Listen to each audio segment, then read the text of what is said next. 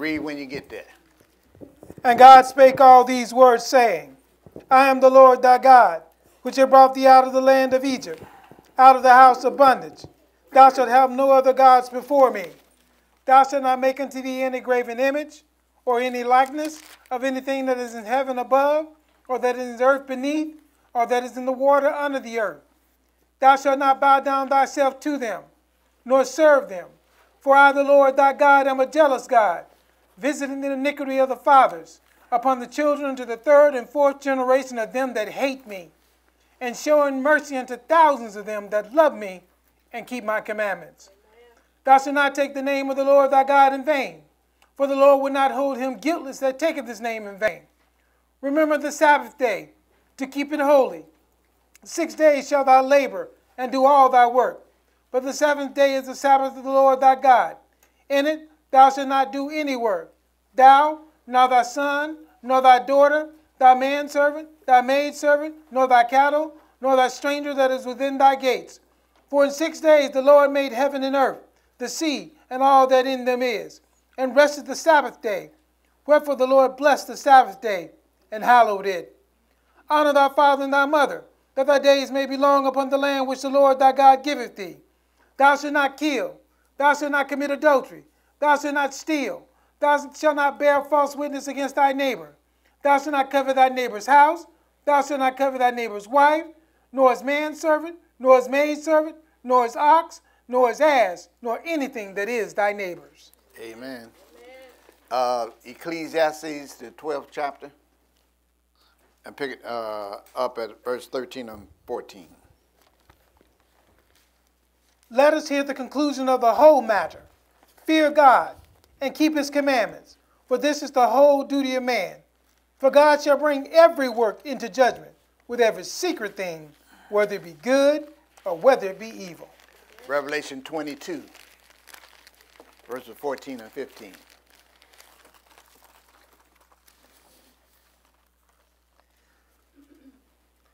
Blessed are they that do his commandments, that they may have the right to the tree of life, and may enter in through the gates into the city. For without are dogs, and sorcerers, and whoremongers, and murderers, and idolaters, and whosoever loveth and maketh a lie. You know, brothers and sisters, for those who uh, want to say that God's royal law is no more, when Jesus, the Messiah, the anointed one of God, was in the flesh, the first thing he stated was that think not that he come to destroy the law or the prophets.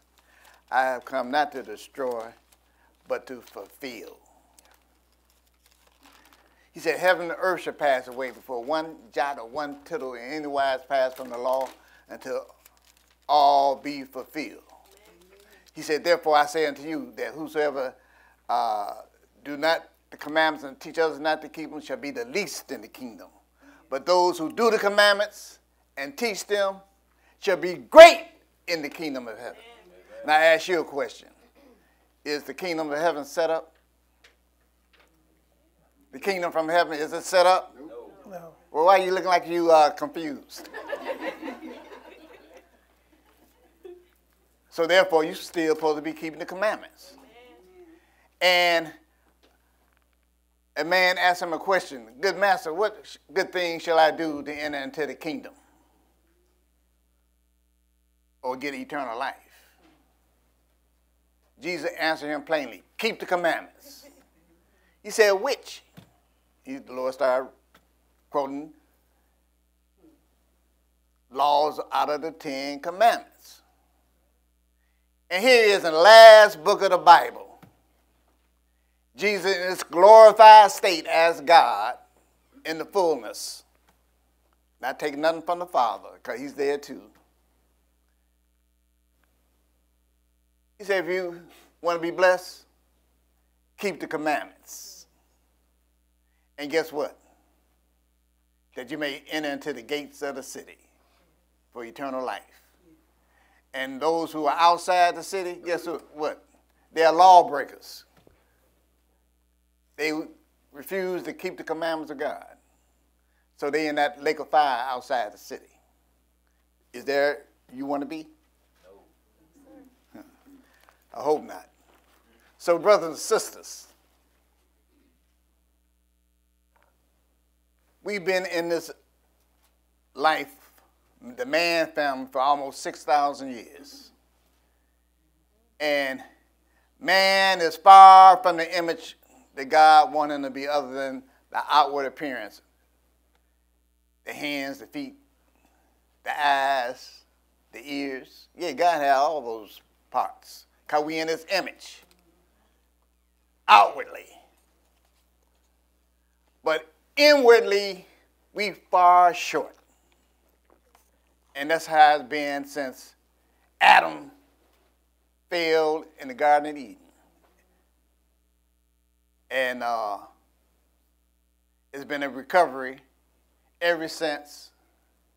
And God wants us to be just like Him in the fullness, not just outward appearing, but inwardly also. And that's what we're going to be putting emphasis on today. The inward man and how those uh, attributes of God is developed, which is also called the fruits of the Spirit. And so, without further ado, we're just going to go back from the beginning and bring it on down to today. Because guess what? Just like the Lord, uh, just like uh, God brought the flood on the whole creation and destroyed every living thing except one person, Noah, because he was righteous, and his righteousness brought blessings upon his family. His wife, his three sons, and their wives. That brought uh, one family, God saved one family out of an untold number of inhabitants back in the day. But I got news for you, brothers and sisters. Jesus said, just like the days of Noah, so shall be the second coming of the Messiah himself. And guess what? Noah's generation was wicked. So wicked the Lord had to, you know, he felt sorry that he made man and that he had to destroy him. But guess what? There's another destruction coming, but it's not going to be by water. It's going to be by fire.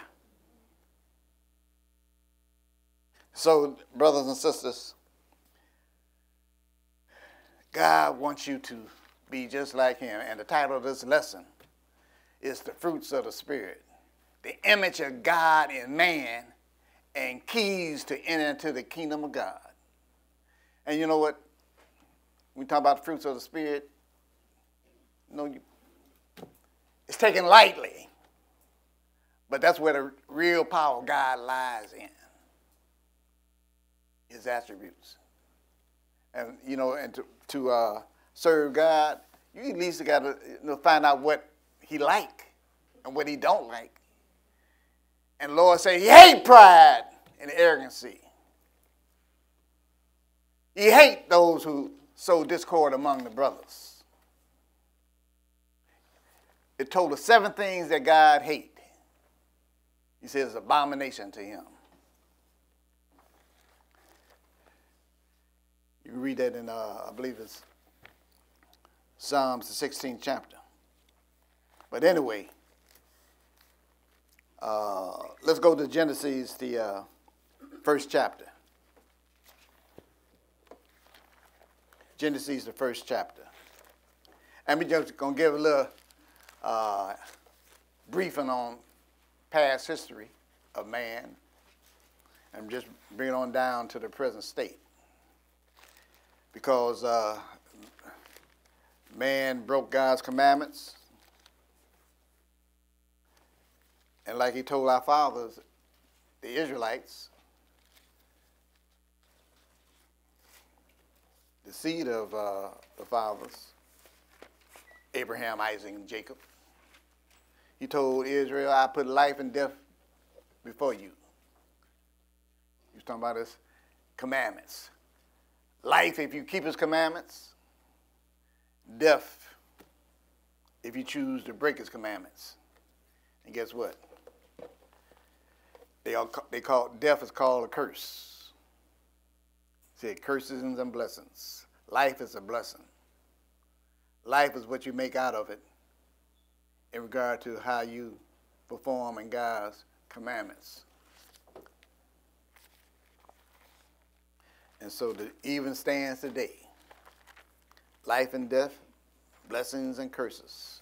Choose. So uh, we're going to pick this up in uh, Genesis, the first chapter, but we're going to uh, stop at, uh, begin at verse 20 because I want you to take note of something. Uh, begin reading.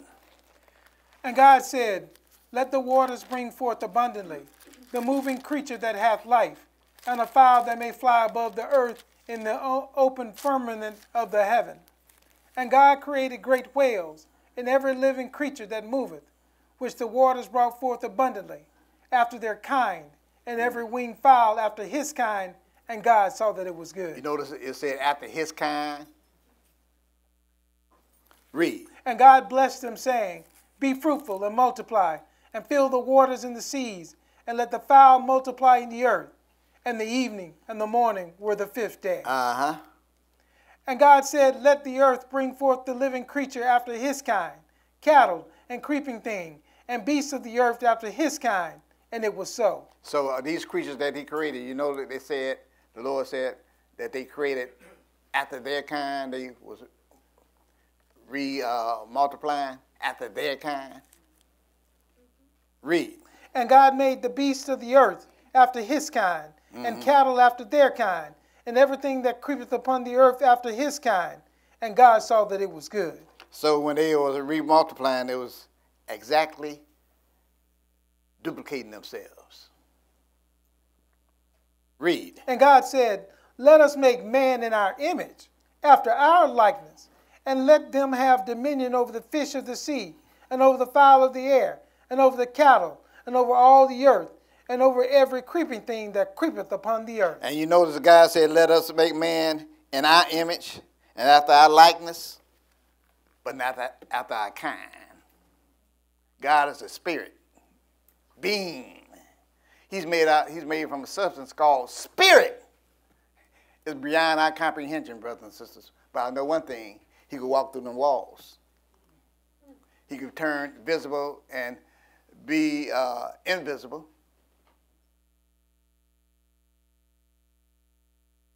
And uh,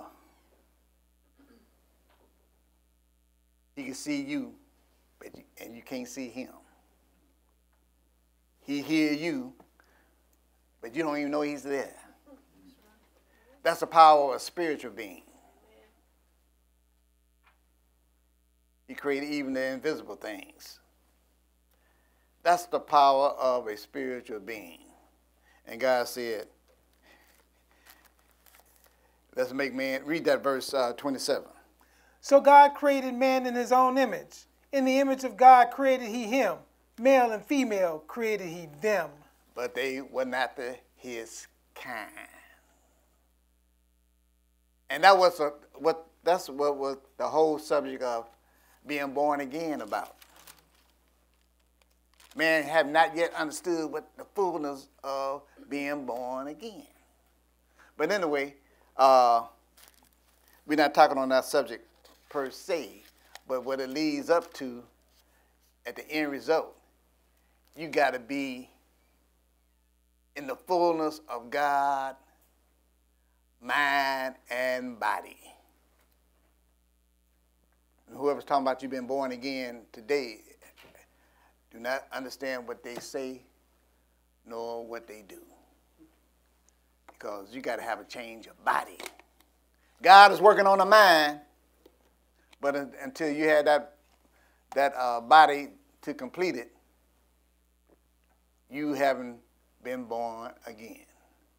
But at the end of the day, when that uh, when that mind is perfected, because you got to overcome, like Lord said seven times in Revelation, Who shall overcome shall inherit all things. Who shall overcome shall sit on my throne. Who shall overcome, I grant him uh, a new name. And it go on and on.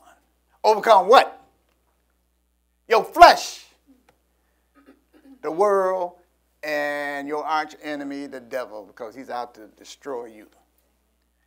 And what the Lord told Peter, upon this rock I will build my church, talking about himself, and the gates of hell shall not prevail, prevail against it. And he also said, I give you the keys of the kingdom of God. Whatever it takes to get into the kingdom, Peter had it. And he gave him authority also. What you shall bind on earth shall be bound in heaven, and what you loose on earth shall be loose in heaven. In other words, the Lord gave you the, the power of attorney to work on his behalf. But, brothers and sisters, we have not yet understood that. But uh,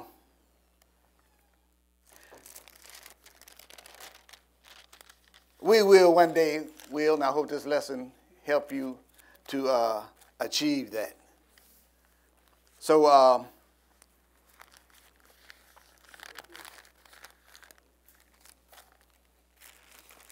let's go to um, Genesis, Genesis, the second chapter. Genesis 2. And we're going to pick it up at verse 7.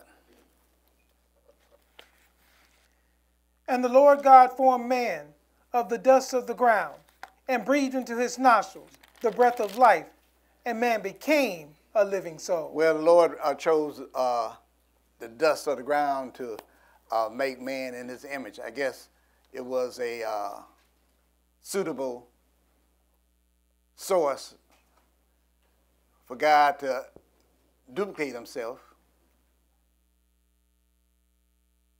in a lower form until the time come when he had to change man into that very image of himself in the mind as well as the body. So uh, we see man was made out of the dust of the ground. Uh-huh. And what else? Breathed into his nostrils the breath of life, and man became a living soul. And man became a living soul, not that a soul was put in him, he became a living soul. He is the soul. And without the breath of life, the air which you breathe, you would be a dead soul. Keep reading. That's the end of seven. Okay, uh, Oh, six. uh, pick it up at verse 9. No. And out of the ground made the Lord God to grow every tree that is pleasant to the sight and good for the food, the tree of life also in the midst of the garden, and the tree of knowledge of good and evil. And those were two trees that were not literal trees. They were spiritual trees, but they, they were beings. And we're going to see. Uh, skip on down to uh, verse 16. And the Lord God commanded the man, saying, Of every tree of the garden thou mayst freely eat, but of the tree of the knowledge of good and evil thou shalt not eat of it, for in the day that thou eatest thereof thou shalt surely die. Okay. Man disobeyed. He was deceived by the by the devil. Eve in particular. Adam wasn't deceived. But he went along with the with the wife. But turn over to the uh, the third chapter.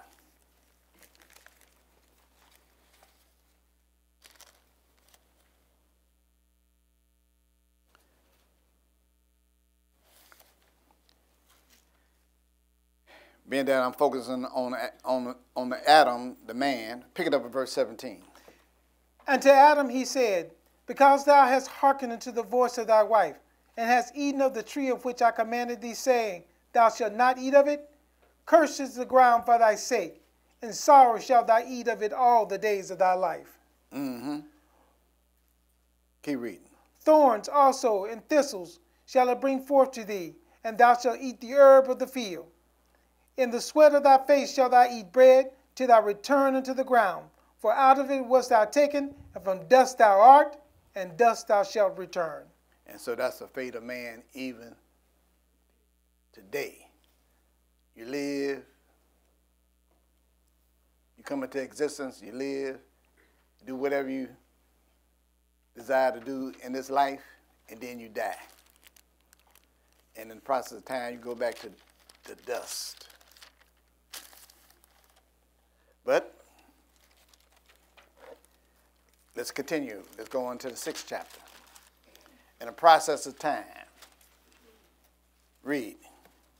Six, and uh, we're going to pick this up at uh, verse 5.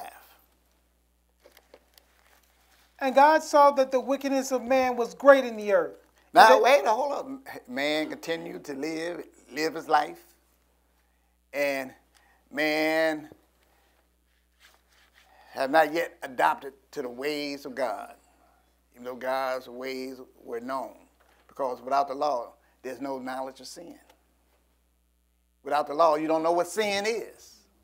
For First John, the third chapter, verse four, tells us, "Whosoever transgressed the law commits sin. For sin is the transgression of the law." So the wickedness of man, because remember, man is a free agent. Choose what you want, and that's what you get. And so the wickedness of man is great on the earth. Uh. Read. And God saw that the wickedness of man was great in the earth, and that every imagination of the thought of his heart was only evil continually. That's almost like it is now.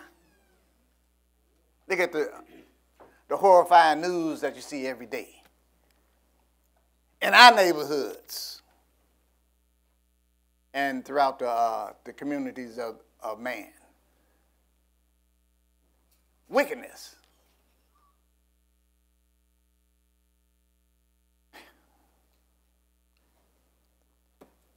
Continue. Verse 6 And it repented the Lord that he had made man on the earth, and it grieved him at his heart. Uh, Isn't that a pitiful state? The Lord say, "Oh, why I made you," and He got to live with it until He just remove you from His presence. God is long suffering, giving you a chance to come into His knowledge, give you a chance to change your ways, and hey, good if you do, and woe if you don't.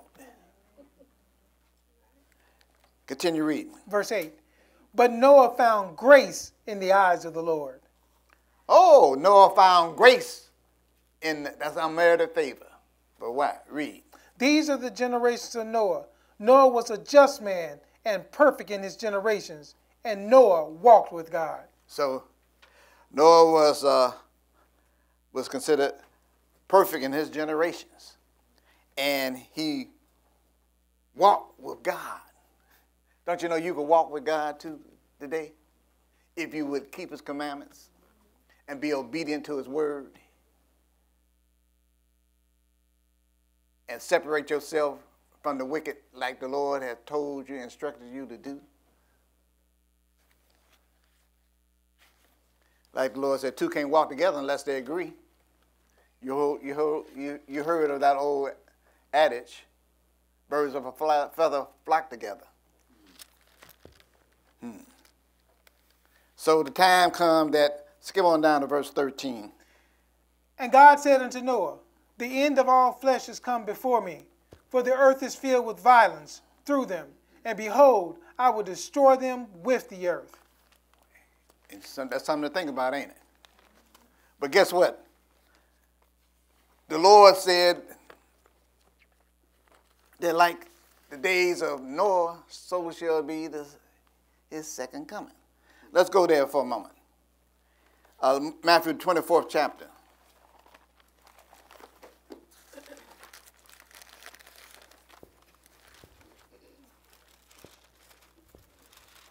And pick it up verse 37. Read when you get there. Matthew 24 and verse 37. But as But as the days of Noah were, were, so shall also the coming of the Son of Man be. And we're looking for him the second time. Because you know, the apostles wanted to know what should be that, because Jesus uh, foretold the destruction of Jerusalem in that day. Now we're talking about over 2,000 years ago, brothers and sisters. And they wanted to know uh, when would that be and what would be the sign of your coming and the end of the world. And he went on to name a list of events like wars, rumors of wars that we see now, earthquakes in diverse places, we see that, uh, famines, we see that, the wickedness of man, you know, killing one another, we see that. People being killed for the name of the Lord, we see that. And they're going to escalate until the day where you're going to have a time of trouble such as never was and it shall never be again. And the Lord said, if he didn't cut those days short, there wouldn't be no flesh left alive. We in those times. And it's escalating. But keep reading. Verse 38. For as in the days that were before the flood, they were eating and drinking, marrying and giving in marriage, until the day that Noah entered into the ark, uh-huh. and knew not until the flood came and took them all away. So shall also be the coming of the Son of Man. You're going to be so much trouble on earth. And those who got their eyes on, Lord going to provide a way where they can escape into the wilderness. Once they're in the wilderness, all hell going to break loose on the earth through the reign of the Antichrist. Or Papa moving out of Rome and set up in Jerusalem, but that's another story for another time that can bring great trouble upon the earth. And during that time, Jesus is going to make his second coming.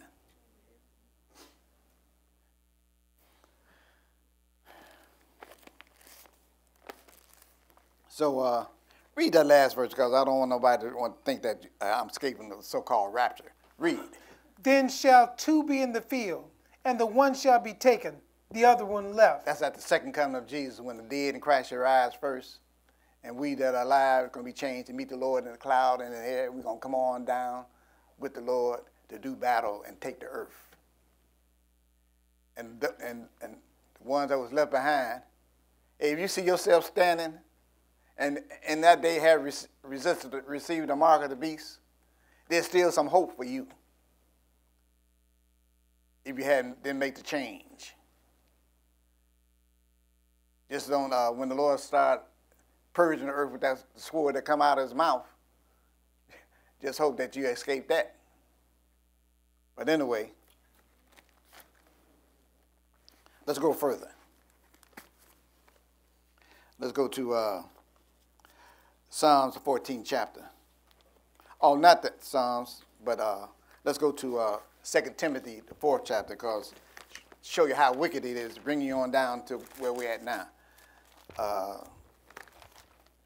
2 Timothy, third chapter.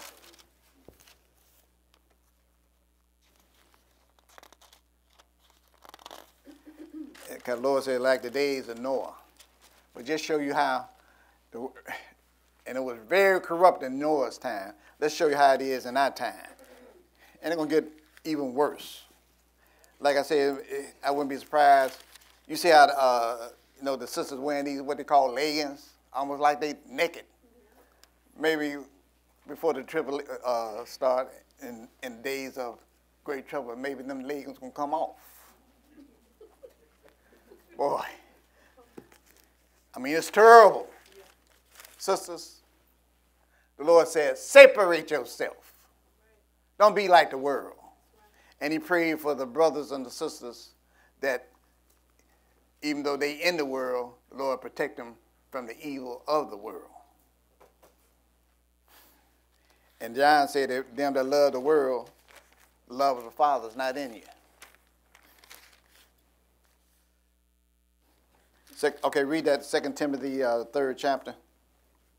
And we're going to pick this up at uh, verse 1. This know also, that in the last days perilous times shall come. And we in those days. And perilous times. Read. For men shall be lovers of their own selves. That's how they are. Very selfish. They care about me, me, me. This is a me generation. I, I, I. That's a, that's the I generation. My, my, my. That's the my generation. We in it. Read. Covetous, boasters, proud, blasphemers, disobedient to parents, unthankful, unholy, without natural affection, truce breakers, false accusers, incontinent, fierce, despisers of those that are good, mm-hmm. traitors, heady, high minded, lovers of pleasures more than the lovers of God, Oh, let's have a good time. Party up. Let's go for it. Let's live large. Uh huh. Read. having a form of godliness, but denying the power thereof, from such turn away. Oh, this sounds like church people. In particular, having a form of godliness, but denying the power thereof. You know why? Because power comes with godly living. And people don't believe in the power of God these days. But, hey, the Lord, through you, brothers and sisters, can still do miracles.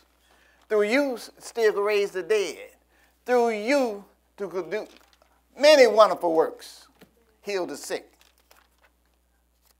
But people don't, in the churches, don't believe that God still do that, could do that. It's according to your faith, brothers and sisters. When the Son of Man, like Jesus said, makes the second coming, will he find faith on the earth?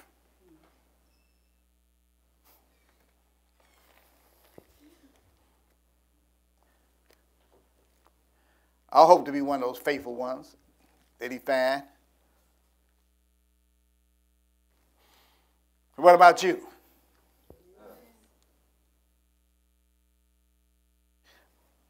Let's go over to, uh, so that's the state of mind of people in today, in these last days.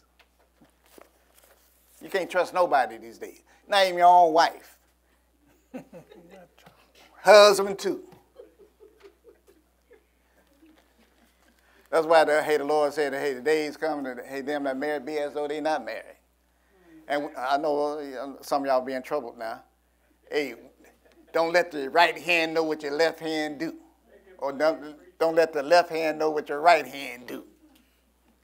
Those people that's supposed to be close to you. Something you just got to keep to yourself. So Psalms 14 chapter.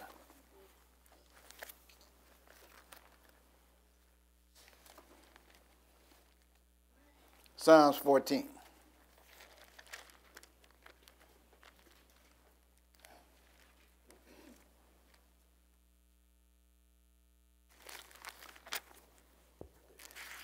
And we're going to pick this up at uh, uh, verse 1. The fool has said in his heart, There is no I God. didn't say, I, I didn't say that now. I wasn't pointing at you. The Lord looking to the minds of men. And you know who you are. Read. They are corrupt. They have done abominable works. There is none that doth good. Uh huh. The Lord looked down from heaven upon the children of men to see if there were any that did understand and seek God. Uh huh. They are all gone aside. They are altogether become filthy. What? There is none that does good, There's no, none not one. that does good, not one. It sounds like we're reading out of the New Testament, don't it? Hmm. Read. That's into three. Okay. Let's turn over to uh, Isaiah 59.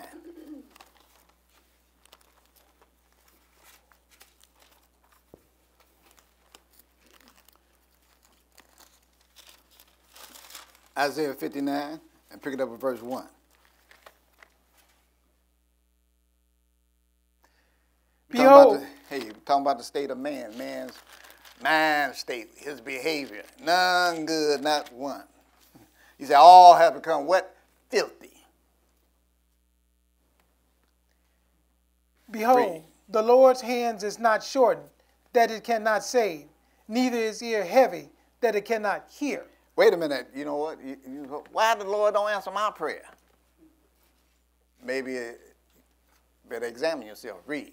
But your iniquities have separated between you and your God, and your sins have hid his face from you, that he will not hear. Hey, Lord can hear now. But our sins separate us from our God. Our iniquities. That's why we, sometimes we had to give a, a, a soul search, kind of call a wicked search,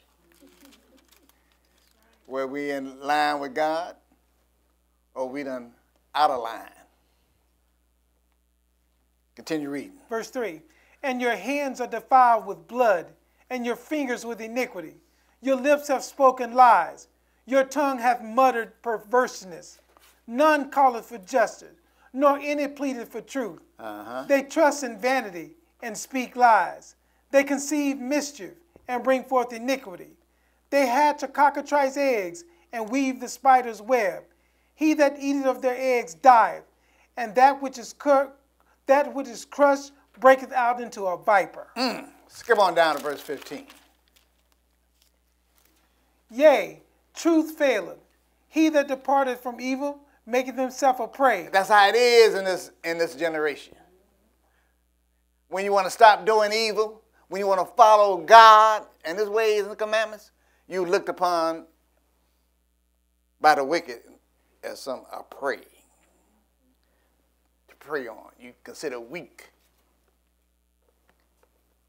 Okay. But uh, servants of God got some form that they think you weak. Hey, like the true power lies in obedience and follow after God's ways and uh, growing in, in his attributes called the fruits of the Spirit. That's where the power lies. And people that get, get- a misunderstanding about who you are could fall into some, some great trouble. God, Lord said, protect yourself. You know, you have a right to protect yourself when uh, people come against you to want to do you will for harm. But anyway, uh, keep reading. Middle of 15. And the Lord saw it, and it displeased him that there was no judgment. Uh huh. Okay, it pleased him because it, it was no judgment.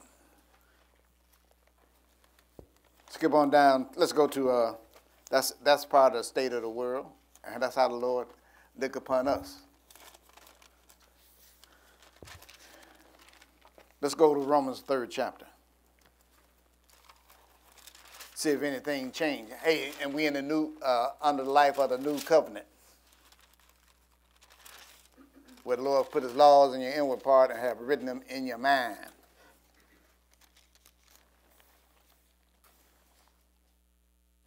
Romans 3, let's pick this up, verse 10. Okay, read. As it is written, there is none righteous, no, not one. Hey, you know, he's quoting uh, what's written in the Holy Scriptures Psalms and, uh, and the prophet Isaiah. Read. There is none that understandeth. There is none that seeketh after God. Sound like we read this before, right? Keep reading. They are all gone out of the way. They are together become unprofitable. There is none that does good, no, not one. No, not one. Read. Go to 19. Uh, yes. Verse 19. Now we know that what things whatsoever the law said, it says to them who are under the law, Uh-huh. that every mouth may be stopped, and all the world may become guilty before God. Don't you know that uh, the, the Israel of God, even in that day, and even in this day, are the lawgivers? They uphold God's law. They supposed to be a light into the world. The Lord said He showed His law to Jacob and His statutes to Israel. He haven't did so with any other nation. You see, read that in Psalms 147. Guess what? So, even though the world was ignorant of the law of God, Israel is his witnesses. That you're still supposed to be keeping the commandments of God. So if Israel broke them, the world don't have a chance. They guilty too, because they never was following them as a whole. So now, keep reading. Verse 20. Therefore, by the deeds of the law, there shall no flesh be justified in his sight, for by the law is the knowledge of sin. And so, brothers and sisters, if you want to be uh, considered righteous on your own merit, it ain't going to work. If you wanted to be righteous on your own merit, you had to be back 2,000 years ago before the Messiah was brought on the scene. And so, when he came on the scene, all the world was guilty. And so it's only through the righteousness of Jesus the Christ can you be uh, justified before the Lord. Because God required blood for the transgressions of sin. Not any kind of blood.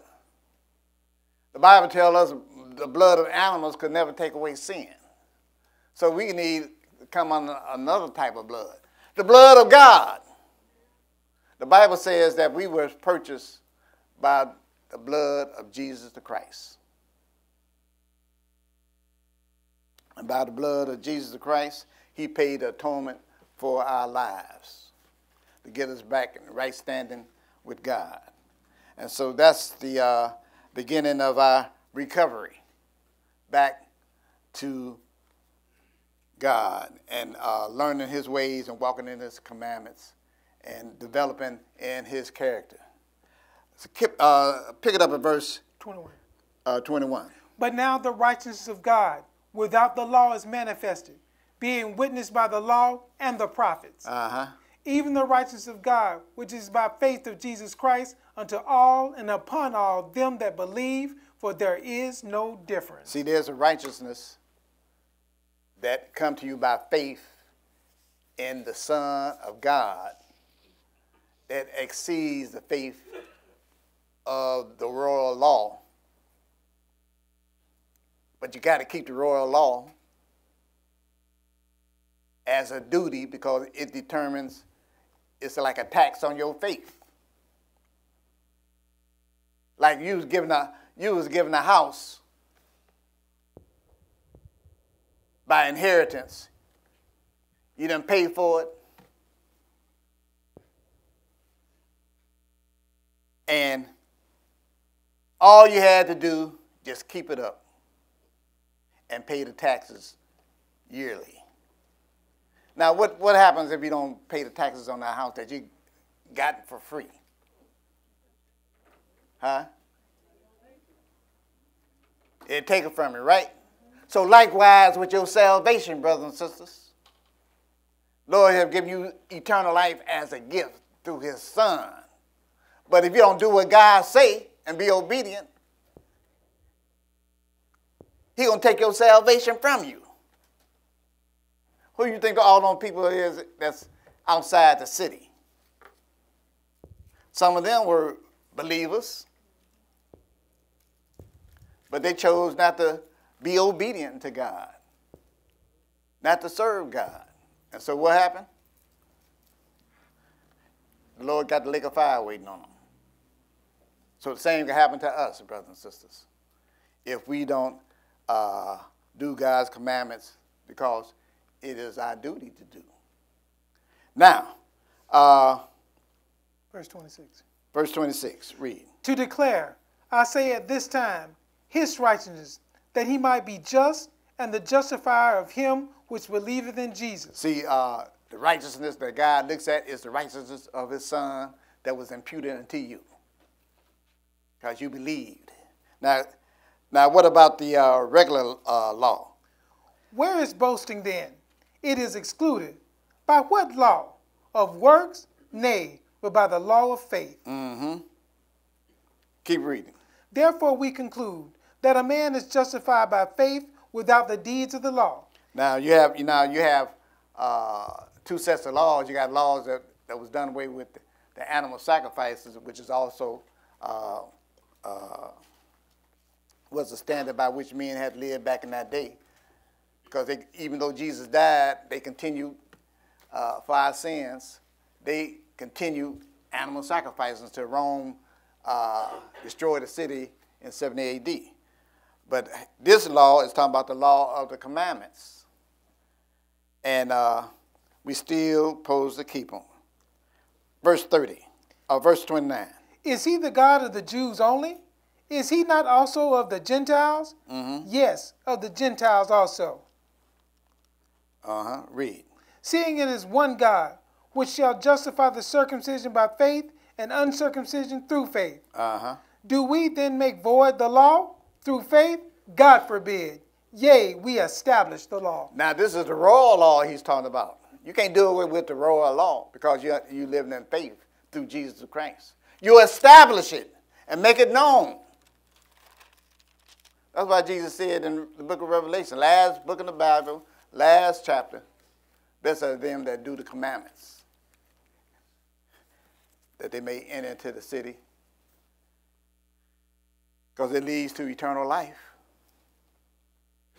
So we what we do, we establish the law. Make it known.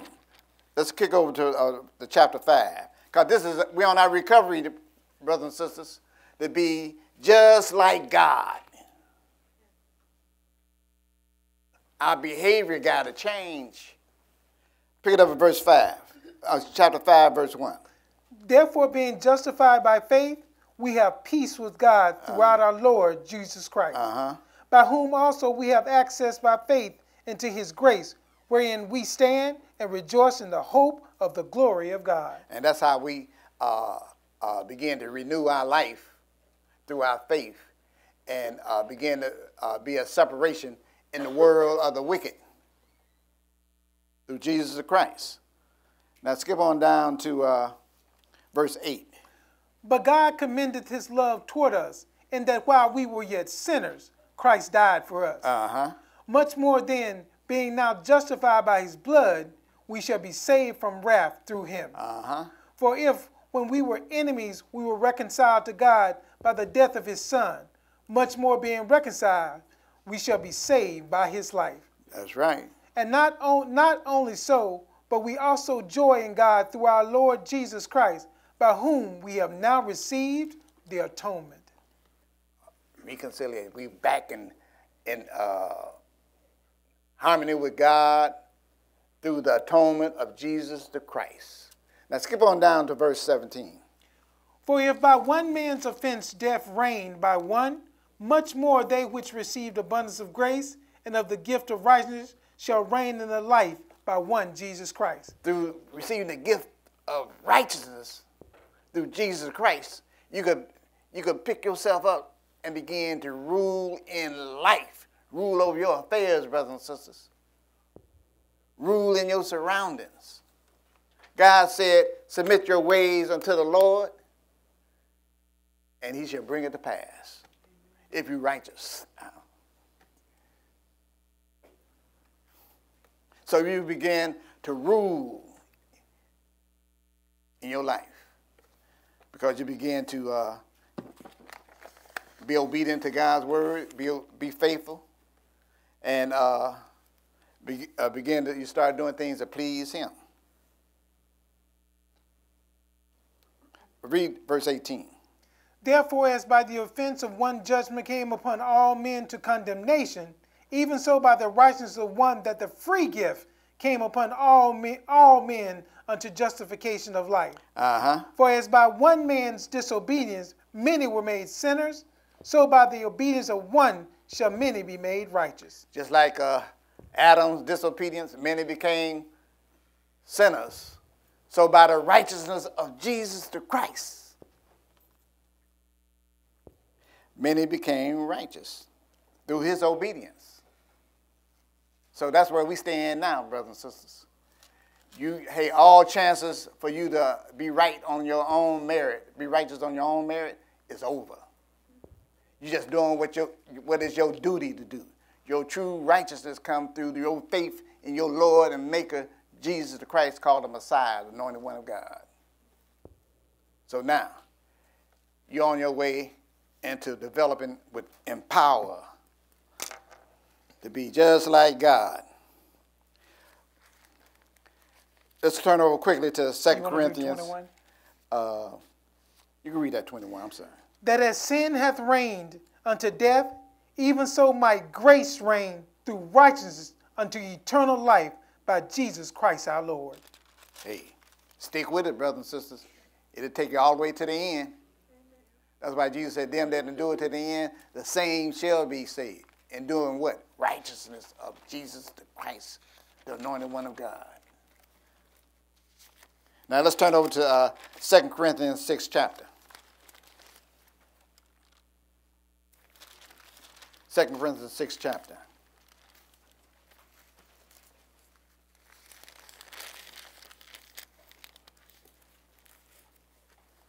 And we're going to pick this up at verse uh, 16. Uh, okay, read. And what agreement have the temple of God with idols? For ye are the temple of the living God. As God has said, I will dwell in them and walk in them, and I will be their God, and they shall be my people. Hey, wait a minute now. Do you believe you the temple of the living God? God says you is. What makes you so different? Because you got the holy law in your body, in your mind, brothers and sisters. In, in uh, Romans, the seventh chapter, you can pick it up at 12. The law is holy, the commandments is holy, just, and good. They're holy and righteous all by themselves. You can't add nothing to it, you can't take nothing away from it. And so, therefore, you're going to try to get around Jesus. You have a form of righteousness. But because you're seeking at your own righteousness, it ain't going to do you no good. It, you have the appearance of righteousness. Because the law, law of God are holy and righteous all by themselves.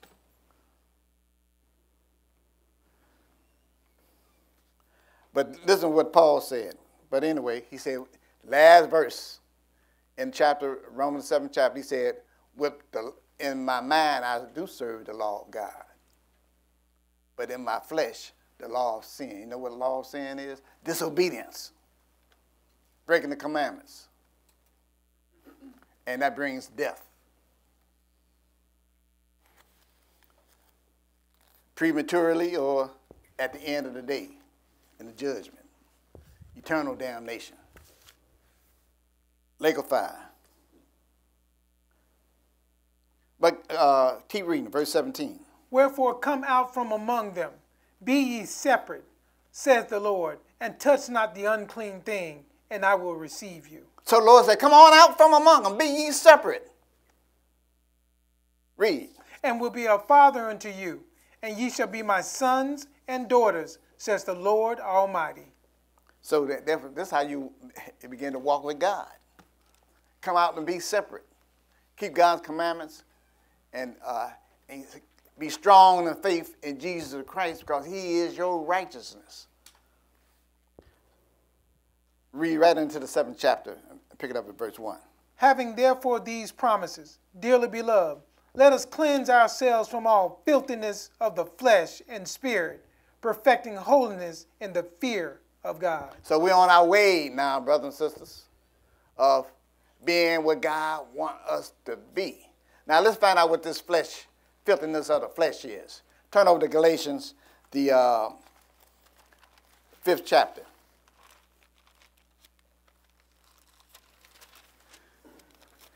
Galatians the 5.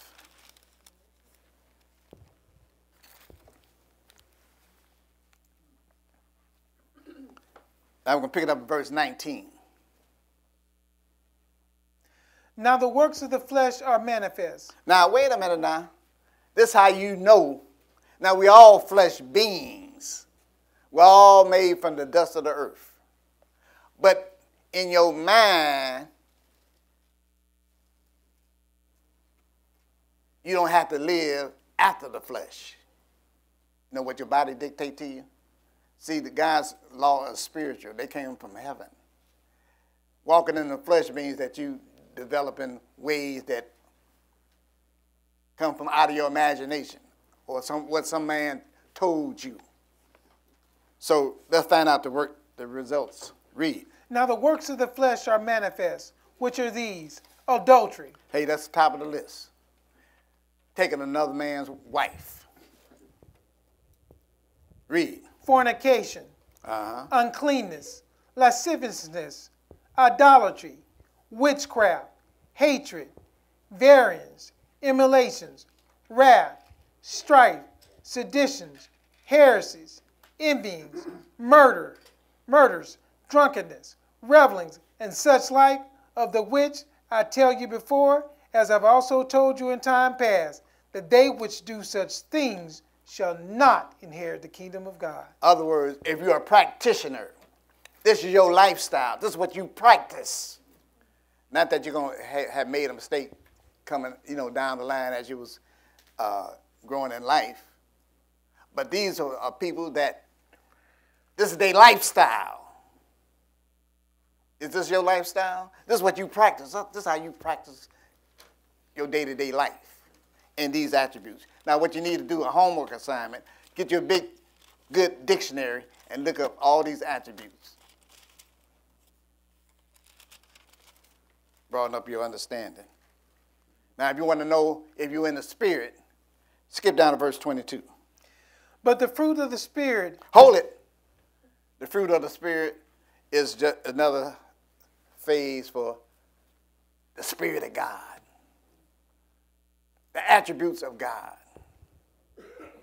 The mind of God. Read.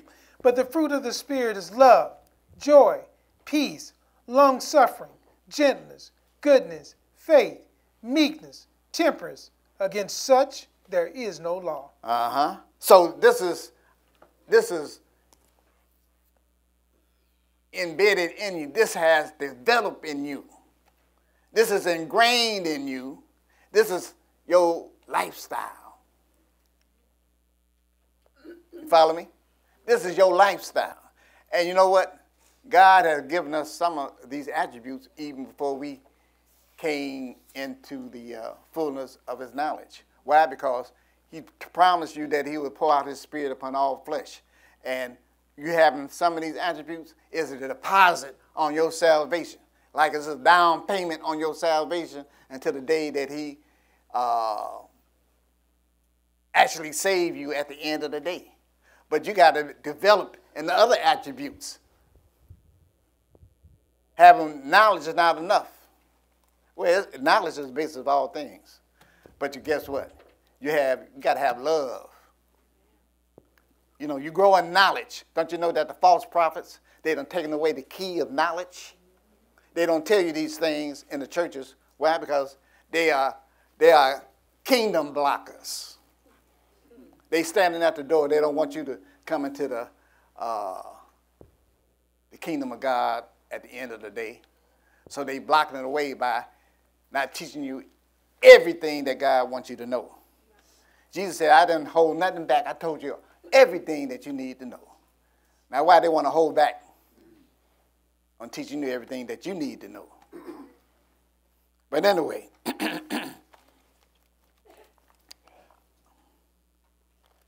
uh, 20, verse 24. And they that are Christ have crucified the flesh with the affections, with the affections and the lusts. Hey, you know how you crucify the flesh? Oftentimes, every every uh, a day of atonement, that's a, a type of crucifying the flesh. You denying yourself to be a, the, uh, you denying to be a fornicator. You denying to be an adulterer. You are denying yourself to be a thief. You denying yourself to be a liar. That's how you crucify your flesh. You refuse to do the things that's contrary to God's law. And it begins with your baptism. When you went un- under that water, you took part of the death and crucifying of the Lord. But uh, read that uh, verse 26. If we live in the Spirit, let us also walk in the Spirit. Let us not be desirous of vain glory, provoking one another, envying one another. Uh huh. So, because you're crucifying, you're supposed to be crucifying that old you, putting to death that old you. So uh, that brings us into what Jesus, uh, when John the Baptist came on the scene 2,000 years ago. He was trying to get our attention. Let's go to Matthew, the third chapter. Matthew, the third chapter.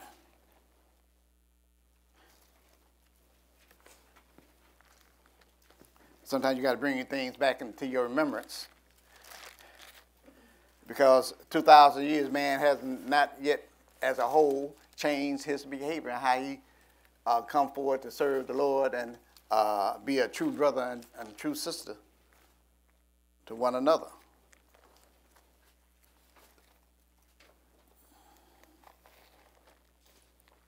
Matthew 3, pick it up verse 1. In, the, in those days came John the Baptist, preaching in the wilderness of Judea, and saying, Repent ye, for the kingdom of heaven is at hand. Oh, repent, for the kingdom of God is at hand. That's the heaven uh, that come down. like our Lord tell you in Revelation uh, uh, 21, he saw New Jerusalem coming down from heaven.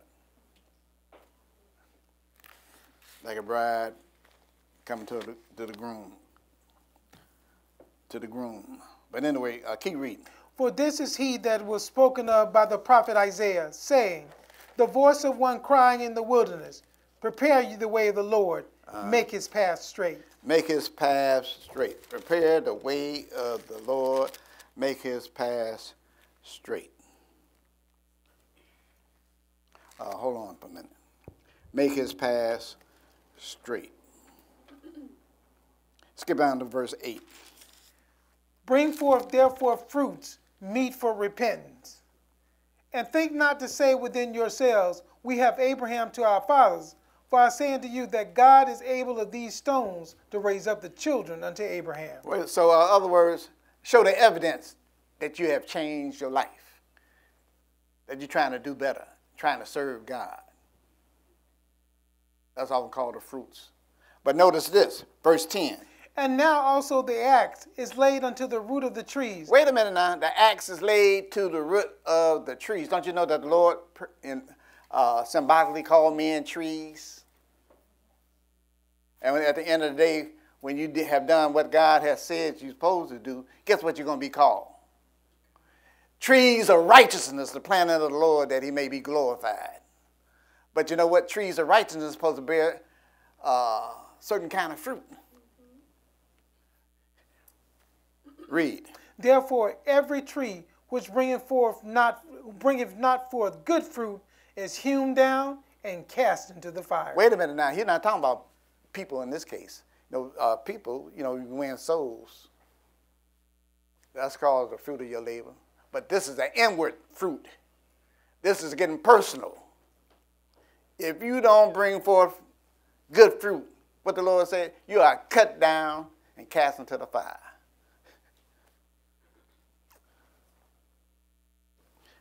That was John the Baptist, the forerunner of the Lord. Let's go see what the Lord said. Let's go over to uh, Matthew, the seventh chapter. Seven? Yeah, Matthew, the seventh. Because he said, Repent, for the kingdom of God is at hand. So, uh, in his ministry of telling you, Repent, for the kingdom of God is, is at hand, let's see what he said in Matthew, the seventh chapter. Pick this up at uh, verse uh, 13. Enter ye in at the strait gate, for wide is the gate, and broad is the way that leadeth to destruction, and many there be which go in thereat. Uh huh. Because strait is the gate, and narrow is the way which leadeth unto life, and few there be that find it. Because he's that straight, he's that door, straight gate. You got to come through him, through your faith. And through him, you gain the power to serve God righteously. That's why broad is the way that leadeth to destruction, and narrow is the way that leadeth to eternal life. And how many find it? Few. Let's serve notice. I lost a place for, excuse me. So therefore, uh, skip down to verse 17. Even so, every good tree bringeth forth good fruit, but a corrupt tree bringeth forth evil fruit. They're talking about your, your personality and character, brothers and sisters. Lord's coming right home with it. You better take heed, read. A good tree cannot bring forth evil fruit, neither can a corrupt tree bring forth good fruit. Uh-huh. Every tree that bringeth, bringeth not forth good fruit is hewn down and cast into the fire. So the Lord wants you to be developing in his likeness that really is of his kind. Read. Wherefore by their fruits ye shall know them. By their fruits you shall know them. Like how know how you know you coming uh, among a false prophet? All you have to do is just ask him questions. He appeared to be godly, but like the scripture say, inwardly he a raven wolf. You keep asking him questions, and he come up with the wrong answers. That wolf gonna come out of him. Why you getting angry for? The Lord said, hey, you don't supposed to be angry. I'm just asking you a simple question. Ah, you know, you don't supposed to be questioning the pastor. Wait, wait a minute now. You, you're a man. You're not God. Right. You know, you, uh, how am I learn if you don't answer my questions?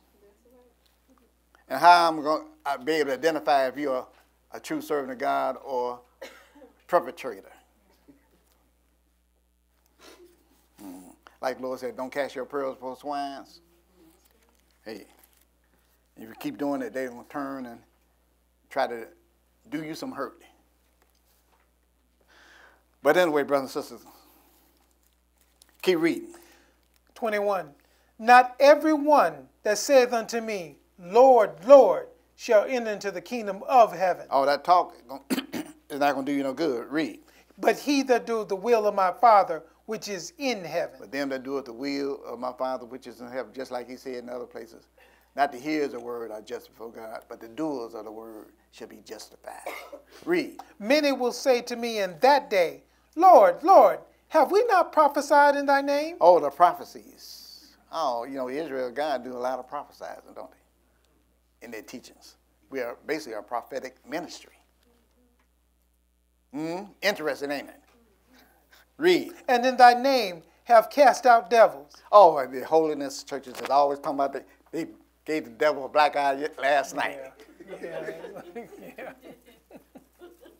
Or kicked him head first out of the room. but you know what? They they uh they uh casting out devils, uh-huh. What about read on? And in thy name done many wonderful works. All the other religions, all hey, we feeding the poor, we uh, clothing the, uh, the naked, we finding housing for the poor. Hey, they doing many for wonder works. Many, many, many wonderful works. That cover all of them. But what are you gonna say? 23. And then will I profess unto them, I never knew you. Depart from me, you ye that work iniquity. Depart from me, ye that work iniquity. Otherwise, I never knew you. Hmm. You mean I've been doing all these good works and you never knew me? Hey, you wouldn't keep my commandments. You wasn't serving me, uh, my son, in faith. You always want to claim your righteousness, always glorifying yourself, but ne- never gave the glory to the, the Father and the Son.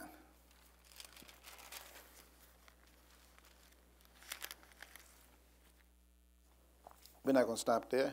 Let's turn over to Ezekiel, the, uh, matter of fact, Matthew 5. Pick it up at verse 13.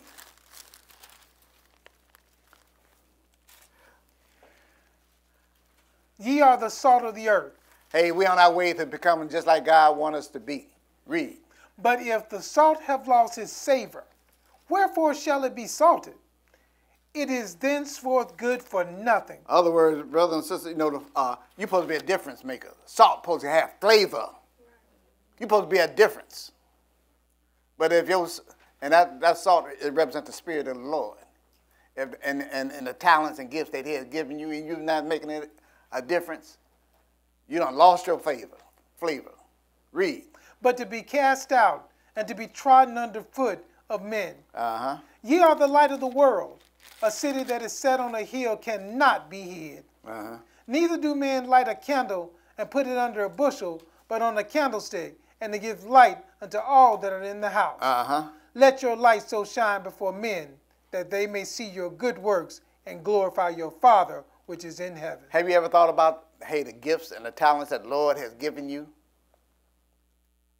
Is the light that He wants you to shine into the world? He said, Let your light so shine that men may see your good works and glorify your Father in heaven.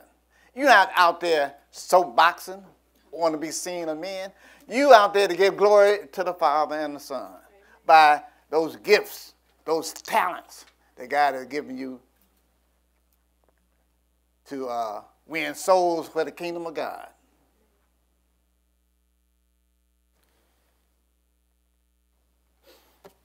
But let's move on. 17. Uh, we could we could uh, bypass that. Okay. Let's go right on into uh, uh, Ezekiel the 18th chapter. Because it's something that we got to do. It's something that we got to do, brothers and sisters. We got work to do on ourselves. Oftentimes, we're just waiting on the Lord to do everything for us. No, He wants you to work in the goodness and in righteousness on yourself, on ourselves.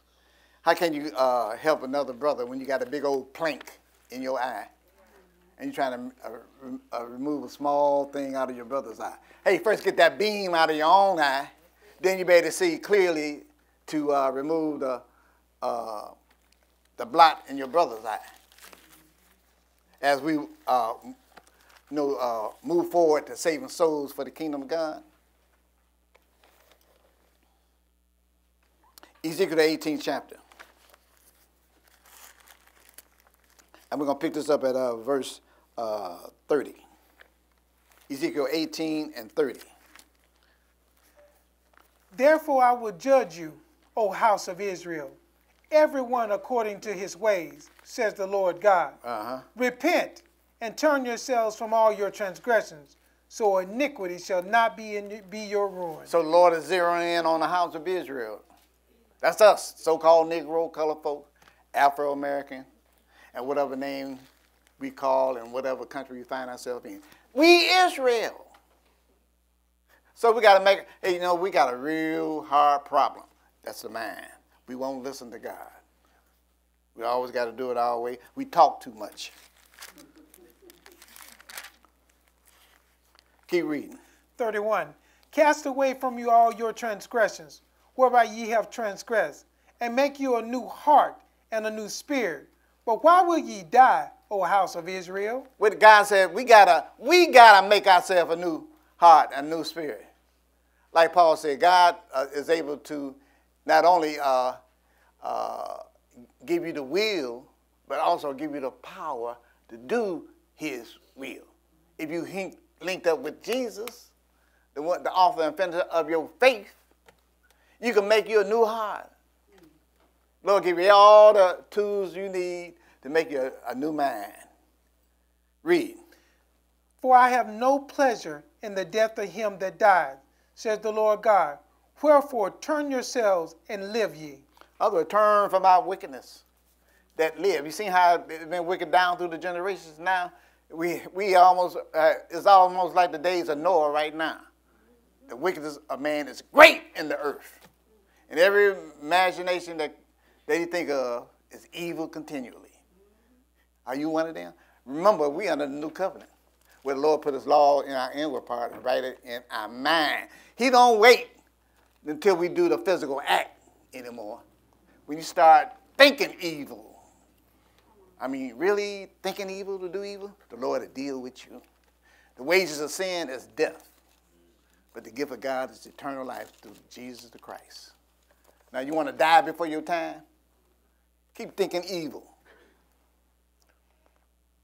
And uh, think you're going to, nobody see you. God see you right into your mind. We under the new covenant where the Lord said the days was, used to be when he said, whosoever committed uh, lust after the woman, whosoever committed adultery, brother, you was in jeopardy of being stoned to death. But I say unto you, whosoever lust after a woman in his heart committed adultery already. so that means you transgress the law. God is gonna deal with you right if you don't repent. He'll deal you with you right on the spot. Same with the uh, thief and the robber and the murderer. You said it used to be said that uh, thou shalt not kill. He said, But I say unto you, whosoever is angry with his brother without a cause is in jeopardy of uh, the judgment. And who's, because it provokes. Anger provokes. And he said, Whosoever call a brother fool shall be in danger of hellfire. Because calling somebody a fool, that's provocation. What? What you say? Now it's on now. You call me a fool? Come on, let's get it on now. And you ain't gonna wait to say get it on. Got, there go a, a fist flying and you ducking. or maybe you got blindsided. You shouldn't have turned your back. Calling me a fool and gonna walk away? Shoot. okay, tap on the shoulder, pow! You turn around. But that's breaking the law, calling brother a fool, or being angry with your brother without a cause you transgressing the law. Unless another another woman. And you got a wife. Or if you don't have a wife, you commit a fornication in your mind. That's why the Lord said, Make yourself a new heart, a new spirit. Why will you die, O house of Israel? The Lord said, You don't have no pleasure in anybody dying. So turn yourselves and live. Let's see how you do that. Turn over Acts, the second chapter. Acts, the second chapter.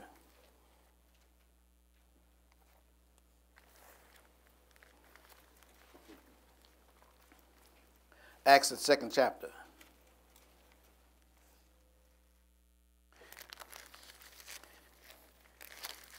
And guess what? Israel found out that Jesus, Messiah, was not only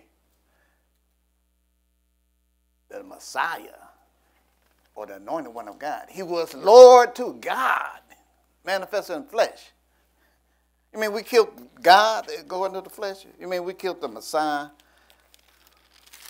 And we are crucifying all over again through our behavior. What we do and how we be thinking. Pick it up in verse 36, 2 and 36. Therefore, let all the house of Israel know assuredly that God had made that same Jesus whom ye have crucified both Lord and Christ. Both Lord, he got two positions. He's God. And he's the anointed one. That's what Christ means, the Messiah, the anointed one. He's both of them. And we killed him? Read.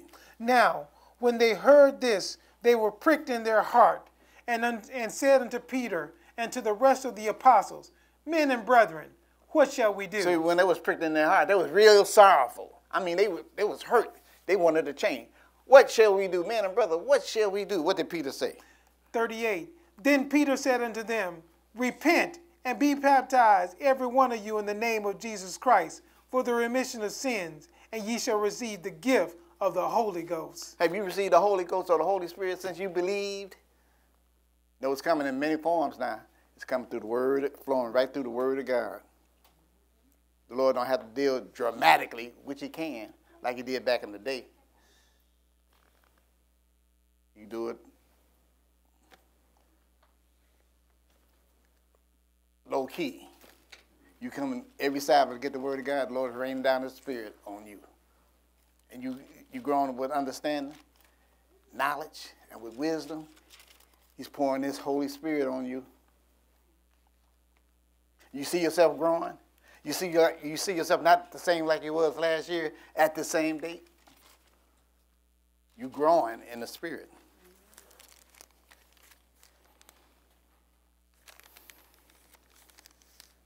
And so uh,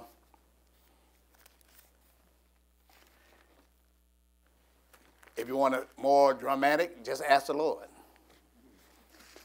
He give it to you. That's the truth. But anyway, uh, I just wanted to uh, show you that. Now, the Lord gave a parable of how his spirit be working. Let's turn over to Luke the 8th chapter.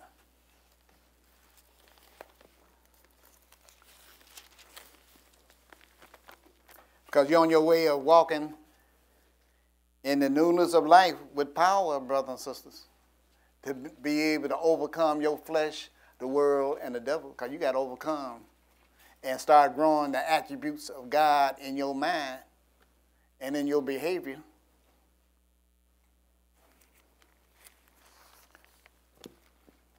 Luke the 8th chapter.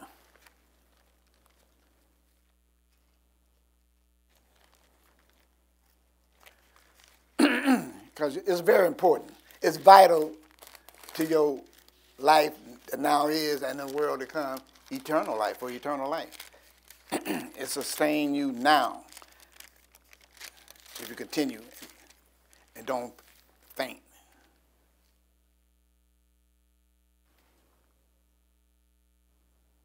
And um,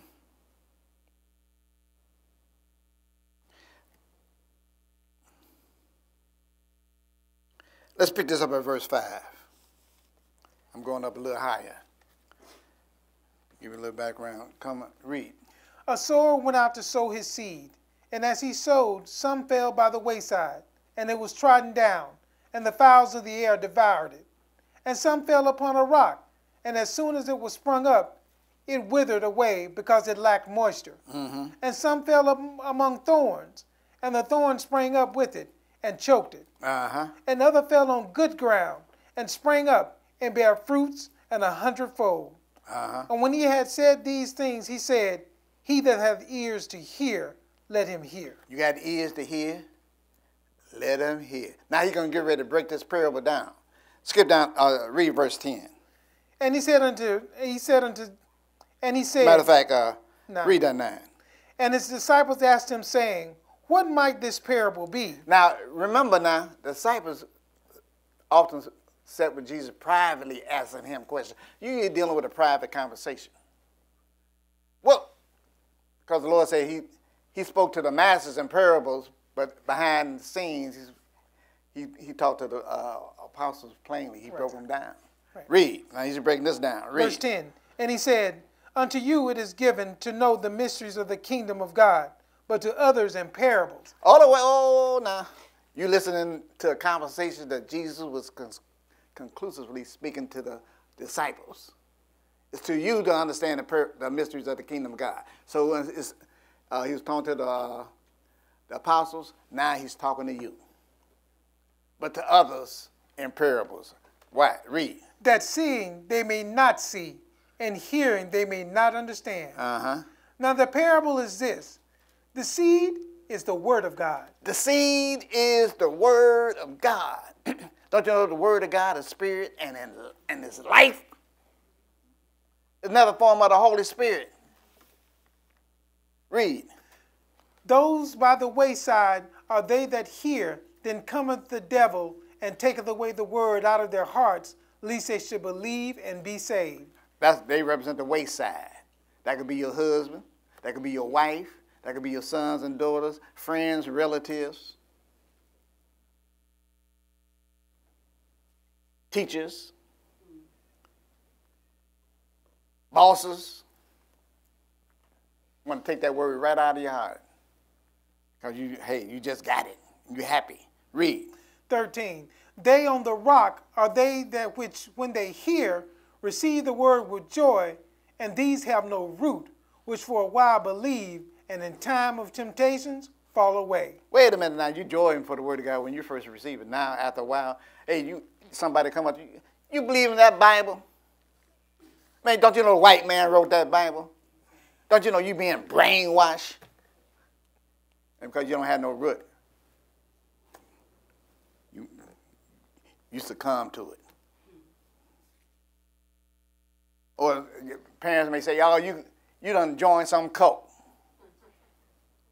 Get out of the, out of out, out of my face with that garbage. No, you come back here next week talking that same stuff. I'm putting you out. Okay. They represent those who are on the rocks. They didn't have no what? Uh, no root. They, didn't, they weren't long in it long enough to get rooted. But read. 14. And, and that which fell upon thorns are they which, when they have heard, go forth and are choked with cares and riches and pleasure of this life and bring no fruit to perfection. Ah, no fruit into perfection. Oh, you got zeal, you got love. Oh, you serve the Lord. But hey, the pleasures of life, the deceitfulness of riches. They choking the word right out of you. you. You know, you're not giving no time for Bible study. You're not, you're not giving no time to sharing the word with others. You're not giving no time to practicing what you preach. You got little nubs supposed to be fruit. Oh, you got a form of godliness. Guess what? They're not growing into perfection. They're not developing. You ever heard of being stunt in growth? You haven't seen fruit on trees that haven't fully devoted? Do you eat them fruit? You think God care about you being undeveloped when he gave you potential to be just like him in the fullness?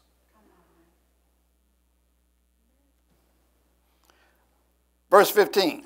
But that on the good ground are they which is an honest and good heart. They that which is in an honest and good heart, having heard the word, keep it, bring forth fruit with patience. Hey, see that patience is not a fruit of the spirit, but they bring forth other fruit with that patience. They represent the good ground. You're not going to be changing drastically overnight. Hey, some hey do a great amount of changing in one sitting when they hear the word of God. Others a little more time. God has patience. They had a good and honest heart. With patience, brought forth more fruit. So that's the one that represented bringing forth a hundredfold. So the hey, the Spirit of God is working in you, brothers and sisters. It's working on you to bring forth attributes just like Him, just like His kind. Let's go to uh, St. John 15 chapter.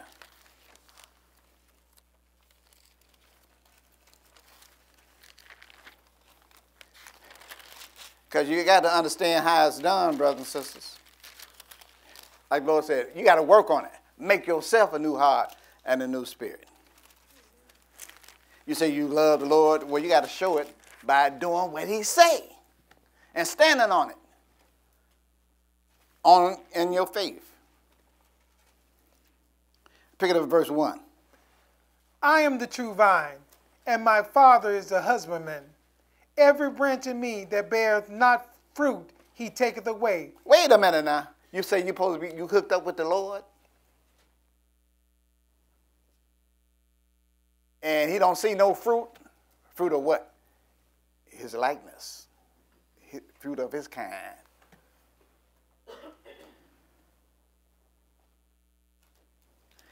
He said he take it away.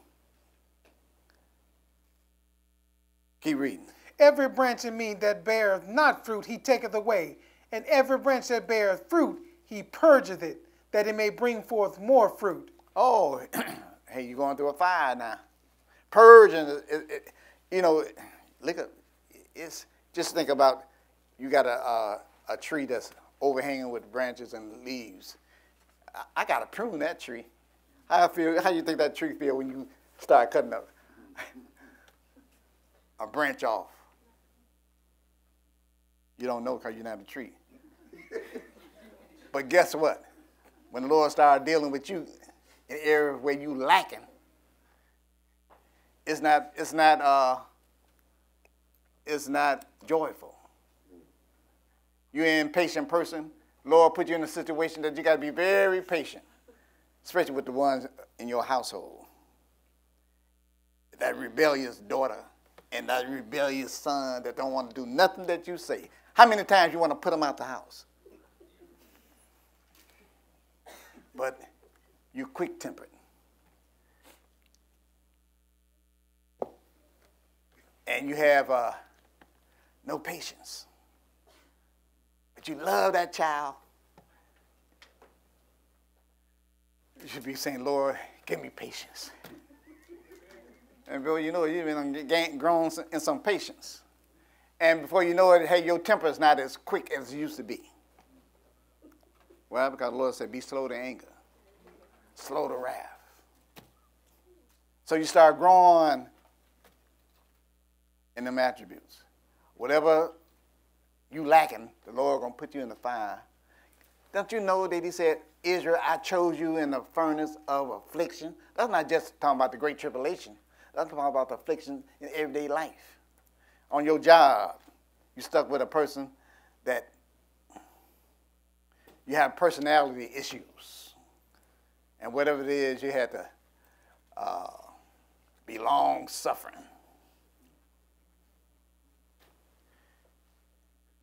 And maybe you got to uh, be slow to speak. So those are ways, uh, examples how the Lord develop your, your, your mind by putting you in, in uh, areas in your life that you're lacking in his character so you could develop in his mind. Just hold it right, hold it right here for a minute. Turn quickly to uh, 1 Peter, first chapter.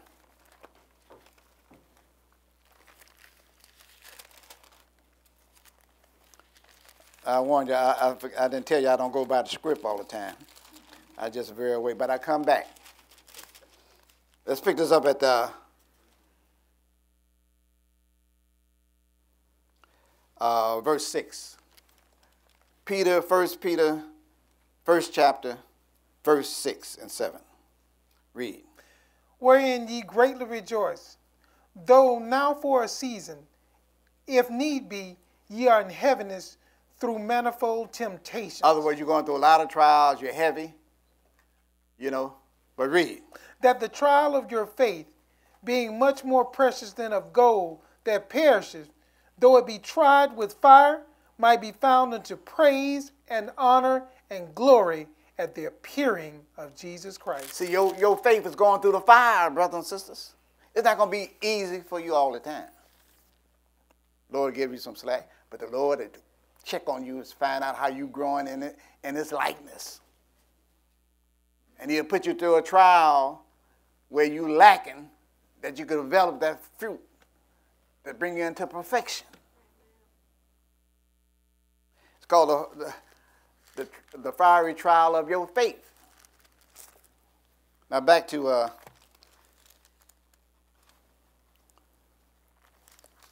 15th chapter. Uh, pick it up verse 3. 15 and 3. John 15 and 3. Yeah, St. John 15 and 3. Okay. Now ye are clean through the word which I have spoken unto you. Mm-hmm. Abide in me, and I in you. As the branch cannot bear fruit of itself except it abide in the vine, no more can ye except ye abide in me. How do you abide in him? Trusting in him. Following his word keeping his commandments. Recognize him as being the Lord of your life. Pick it up at verse 6. If a man abide not in me, he is cast forth as a branch, and as is withered, and men gather them and cast them into the fire, and they are burned. And you're not talking about the fire of life. He's talking about the fire of the lake of fire. The man is parable for the angels. You didn't you didn't develop in the uh, God kind, he don't have no use for you. Verse 7. If ye abide in me, and my words abide in you, ye shall ask what ye will, and it shall be done unto you. Uh-huh. Herein is my Father glorified, that ye bear much fruit, so ye shall be my disciples. That's how the Father is glorified. That you bear much fruit, you you uh, you develop much in His likeness and and, and and and of His kind. It's called the fruits of the Spirit, and the Father is glorified. Jesus is glorified. You edified and built up.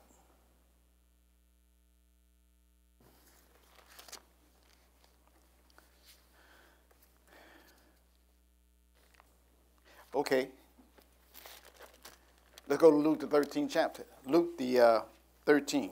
Because the question was, you know, do it take forever developing these fruits? Don't you know the Lord got a timetable? That he want to see you developing? Some of us have been in here 50 years, but Lord is long suffering. Don't have they haven't developed no fruit. You want to see some fruit. I mean, not how many people you win into the gospel, but the fruit of his likeness in you. Okay. Luke the 13th chapter.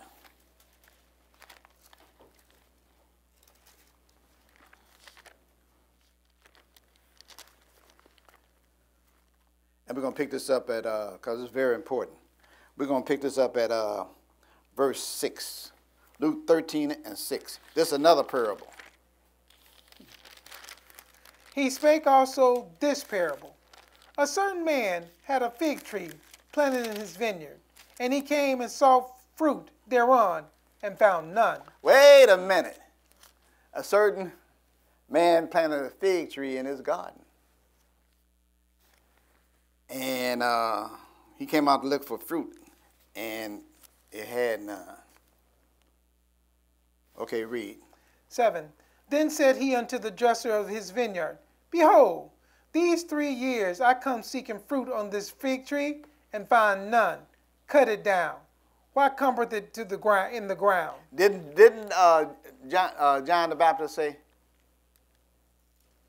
that uh, every tree that bears not good fruit is gonna be cut down and cast into the fire?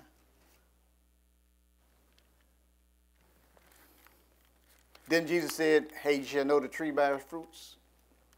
And if you don't bring forth no good fruit, you're going to cut it down and cast it into the fire. He then didn't Jesus say either make the tree good or the, and its fruit good or make the tree evil and its fruit evil? Talking about your mindset, your mental development, brothers and sisters. Read. 8. And he answering said unto him, Lord, let it alone this year also, till I shall dig about it and dung it. Uh huh. And if it be if it bear fruit, well, and if not, then after that thou shalt cut it down.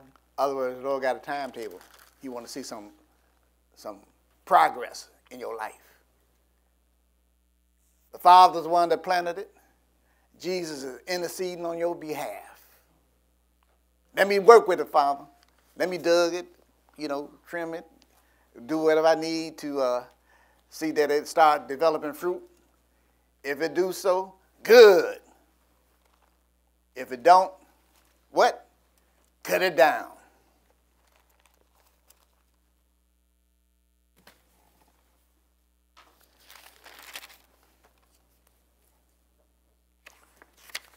Let's go over to Romans 6 chapter as we wind down. Romans 6.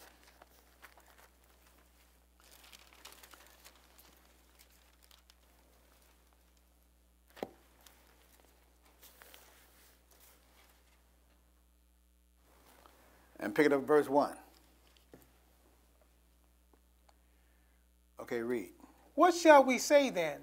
Shall we continue in sin that grace may abound? God forbid. In other words, you, you come under this great grace that the Lord has given you through Jesus Christ. Shall you continue in sin, doing your own thing, breaking God's law? He said, God forbid. Read. How shall we that are dead to sin live any longer therein? Now, you're supposed to be dead, you know, spiritually to the wickedness of, of the world. But how are you going to continue living in sin, breaking God's commandments? Read. 3.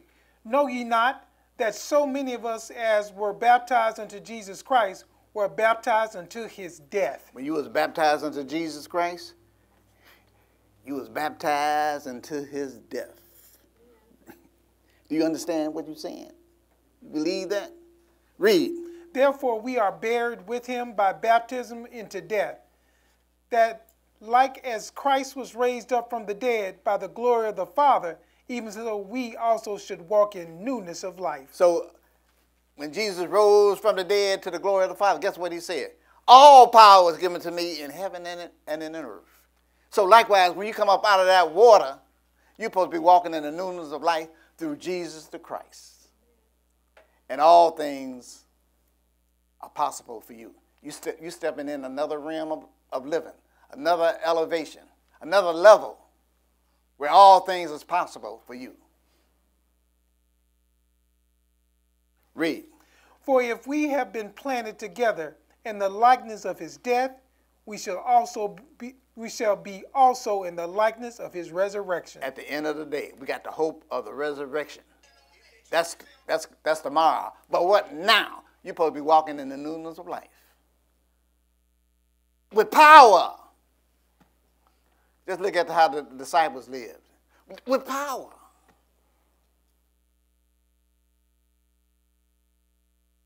Keep reading. 6. Knowing this, that our old man is crucified with him, Other way, put to death with him. Uh huh.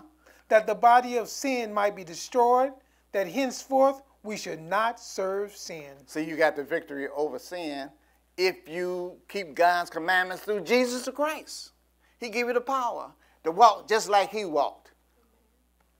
Didn't John say that? Hey, he that said he know God and keep not his commandments is a liar, and truth is not in him. Not in him. Therefore, if you believe God, then you ought to, to walk. If you believe in Jesus, you're supposed to walk even like he walked. He walked in all the commandments, tempted in all points like we are, and did not commit one sin. We're supposed to develop that kind of mindset. In Jesus now, not in your own. In Jesus, because all the glory got to go to God. You want you while you're young. Uh, you you all right old, but he wants you better when you're young. Got more energy.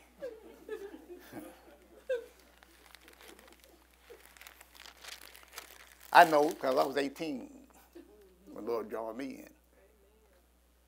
So don't let nobody tell you you too young. They trying to make you go crazy. No, you're not trying to. Oh, crazy in, in the Lord and doing obedience and walking in faith.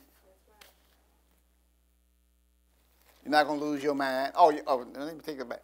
That old you gonna die, but the new man through Jesus Christ gonna come alive.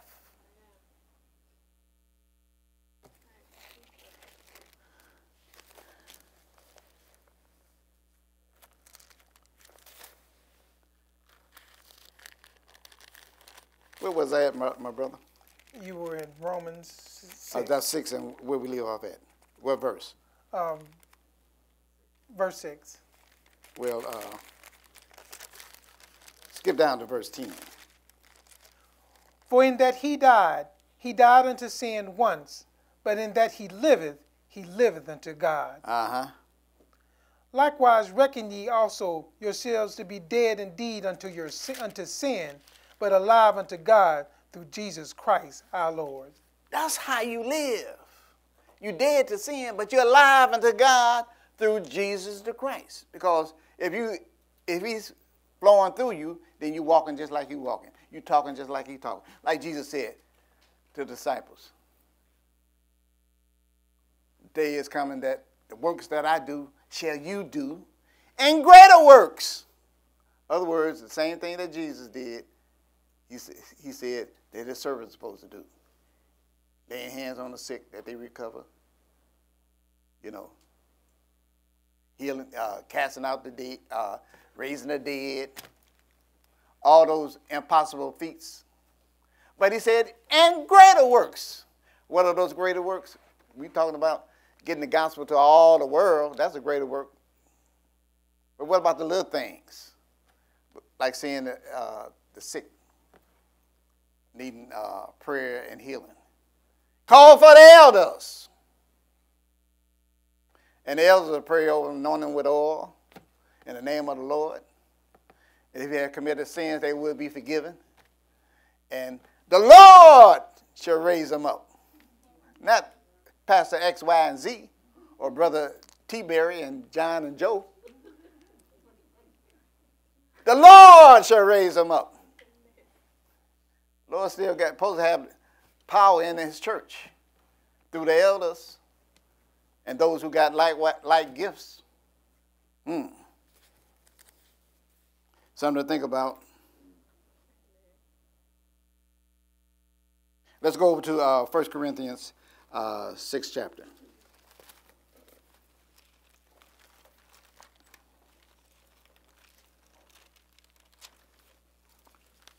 1 Corinthians 6 chapter.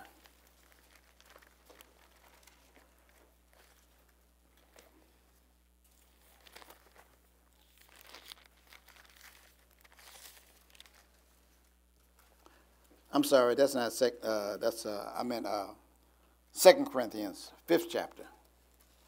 2 Corinthians 5th chapter, I'm sorry.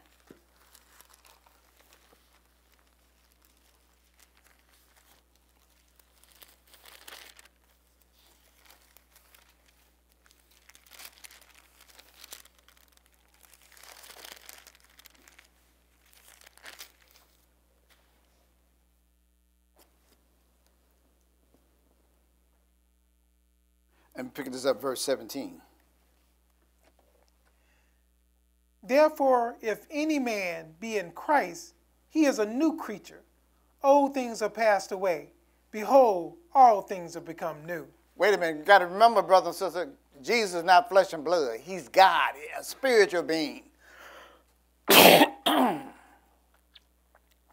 so if you in him, you begin on to take on the likeness of a spiritual being,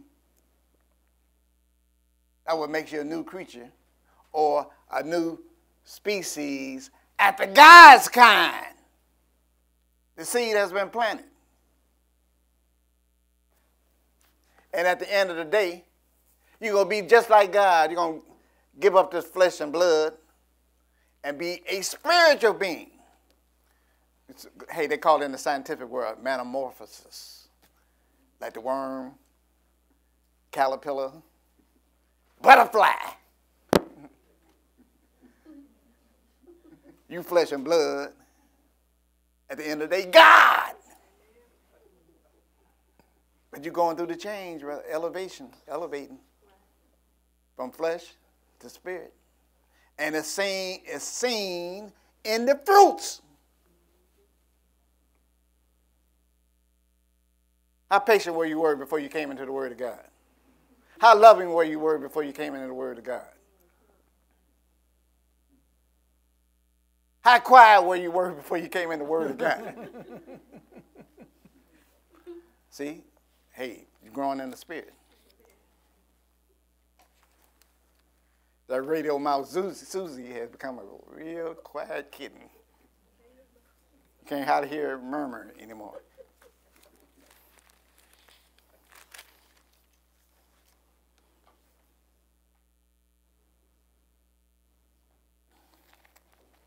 Okay, verse 16, read that. Wherefore, henceforth know we no man after the flesh. Though we have known Christ after the flesh, yet now henceforth know we know we him no more. Because he's a spirit being now. Read. Therefore, if any man be in Christ, he is a new creature. Uh-huh. Old things are passed away. Behold, all things are become new. Uh-huh. And all things are of God, who have reconciled us to himself by Jesus Christ and have given to us the ministry of reconciliation. That's what he, hey, God wants you. God wants to forgive you. God love you. Repent and get baptized and come on back to God, Israel. Read. To wit, the God was in Christ reconciling the world unto himself, not imputing their trespasses unto them, and hath committed to us the word of reconciliation. And he hath committed to us the word of reconciliation. Now you're supposed to be wise trying to save some souls, brothers and sisters, for the kingdom of God. Read. Now then, we are ambassadors for Christ, We ambassadors for Christ. Read. as though God did beseech you by us, we pray you in Christ's stead, be ye reconciled to God. Uh-huh. For he hath made him to be sin for us who knew no sin, that we might be made the righteousness of God in him. That we may be made the righteousness of God in him. So th- we growing, brother. We're moving forward, sisters, to come just like God. So be about the work. Represent, represent in your behavior and in uh, your conversation. Let's go over to uh, uh, Galatians 2.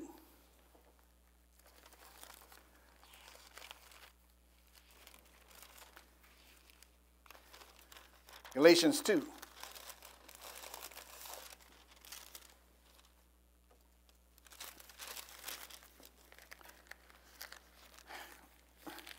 Brothers and sisters, this may seem hard, but this is a real simple lesson.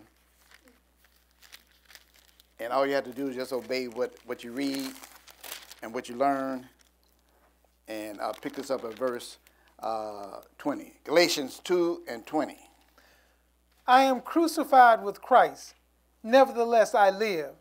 Yet not I, but Christ liveth in me. And the life which I had now live in the flesh, I live by the faith of the Son of God, who loved me and gave himself for me. Uh huh. I do not frustrate the grace of God, for if righteousness come by the law, then Christ is dead in vain. Wait a minute now. There's two ways to look at this. Animal sacrifices couldn't help you. Animal sacrifices could never take away sin. And they never could make you justified before God, put you in the right standing. And so therefore, uh, that's why we all have sinned and come short of the glory of God. And guess what? The royal law, God's commandments are holy, just, and good all by themselves. You can't add nothing to it. You can't take no- nothing away. Here's the wicked. I say keep the commandments. Keep the commandments. And he started walking in them. But never repented, never changed his lifestyle. But he's appearing to do the commandment. He appeared to be righteous. But because he hadn't come through Jesus Christ, through repentance and baptism in Jesus' name for the remission of sins, his righteousness is nothing. And once you do repent and be baptized in the name of Jesus and walk in the commandments of God, hey, he called you when you was nasty and dirty and filthy. So uh, your righteousness is not good enough.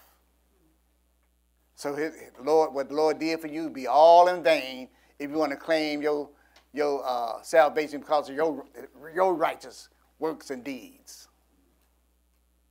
Jesus died in vain, but it's through Jesus the Christ, your goodness, your works, and your deeds, your obedience can be justified.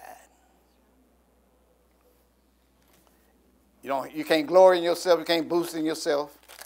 It's all God. It's all about the Father and the Son working out their righteousness in you. Pass from the Father to the Son, given to the Holy Angel, to give it to you. Let's go to uh, Galatians, the third chapter.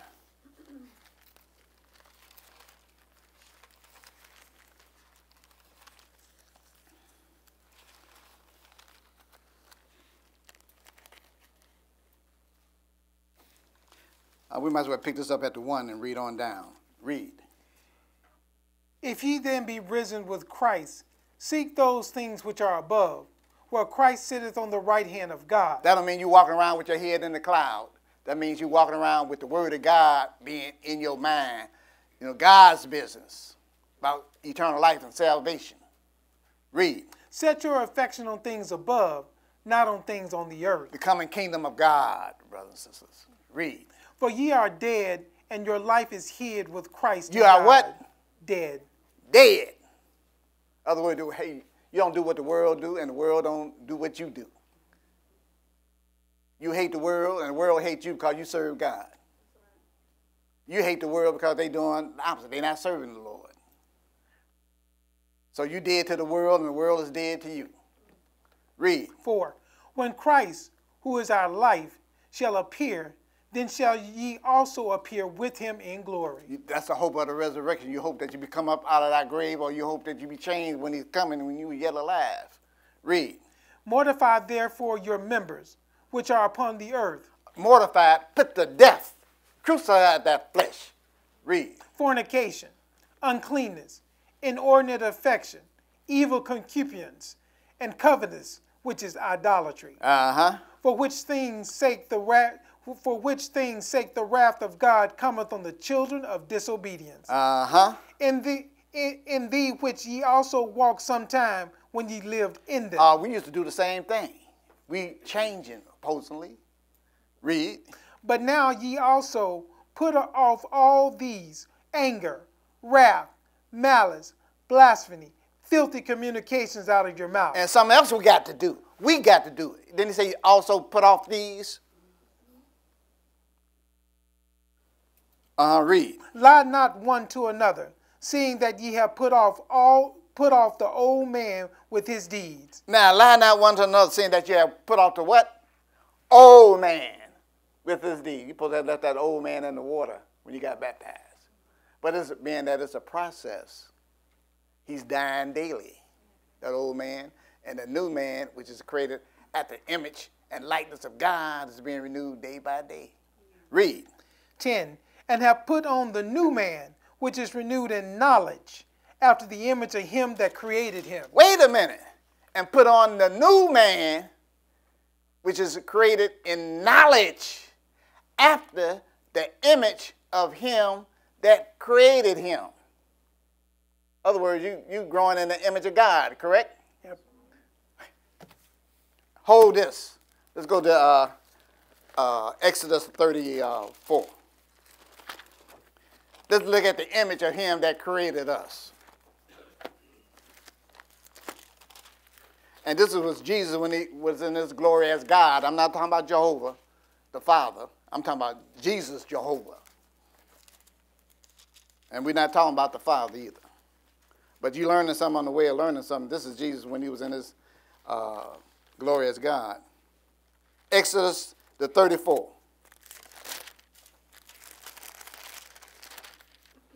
You know, uh, Jesus, uh, Moses wanted to see God.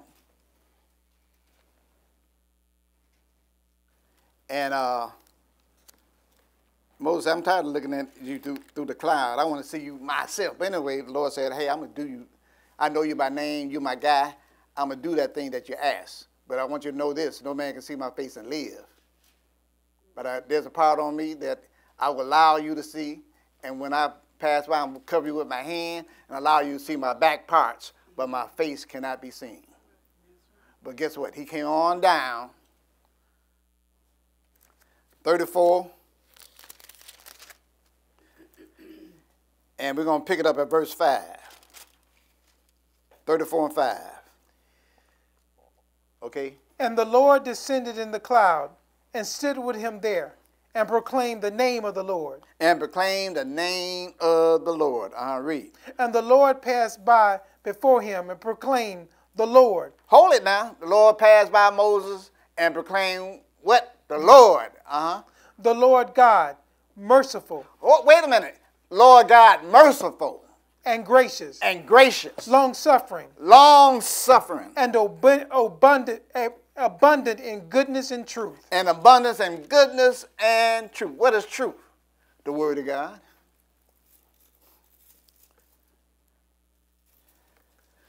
Merciful, uh, unmerited faith, gracious. Hey, he give you uh, favor when you don't deserve it. Long suffering. He put up with you when you don't need to be put up with. But he got some hope on you, hope in you that you're gonna change. You're gonna make the adjustment. Long suffering. Goodness and truth. Guess what? Angel came to Daniel and told him, Hey, I've come to show you what's to fall your people in the last days. In the scripture of truth. You read that in the 10th chapter of Daniel. I don't know the exact verse, but it's there. The truth. And Jesus said, Sanctify them, Father, through your, your word, for your word is truth. Sanctify them, Father, through your truth, for your word is truth. Set them apart through your truth, the word. Now let's go back to uh, Colossians, the uh, third chapter. So you found you've read about five attributes of, of God: long suffering, merciful, kind, gracious, goodness, abundant in truth. Guess what? In Psalms uh, third chapter, where's Proverbs third chapter? The Lord talked about himself as being wise through wisdom, knowledge, and understanding. He's established the heavens, the earth. That's God wisdom, God knowledge, God understanding. Hey, the knowledge of this world, the, the wisdom of this world, the understanding of this world is foolishness with God. He said, through the foolishness of, of preaching, he sent us men speaking his word to save some of us. The wisdom of this world is foolishness with God. You need to get the wisdom of God, which is founded in the word, his words words of truth. Now, picking it back up at uh, 11 chapter, 11 verse. Uh, read. Where there is neither Greek nor Jew, circumcision nor uncircumcision, barbarian or Scythian, bond nor free, but Christ is all and in all. Because it, he's not a man, he's not a female, he's not a Greek, he's not a Jew, according to, in the spirit. Lord is looking for righteousness. That's what the Lord is looking for righteousness. All that work with righteousness and do the right thing is accepted with God. Verse 12. Put on, therefore, as the elect of God, holy and beloved, bowels of mercies, kindness, humbleness of mind, meekness, long suffering, forbearing one another and forgiving one another. Wait a minute. Then we read these attributes, how the Lord was boasting of himself, proclaiming his goodness and mercy and long suffering. We got to put this on. You think you just could put on long suffering, you long suffering all of a sudden? You think you put you know, you're a hateful person, you put on love all of a sudden? No, you're going through the fire, brothers and sisters. And the Lord gonna bring that out of you in truth. You're going to grow. Lord, I called you in the fires of afflict, furnace of affliction. You're going to grow or you're going to die.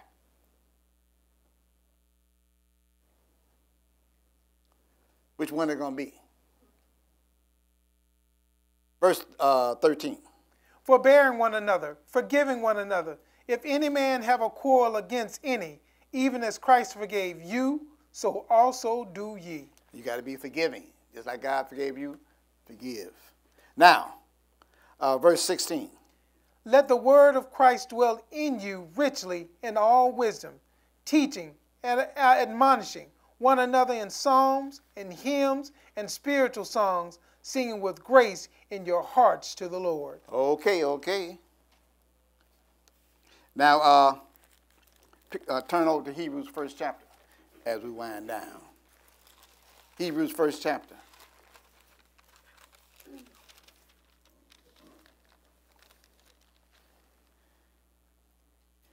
Hebrews 1 and pick it up at verse 1.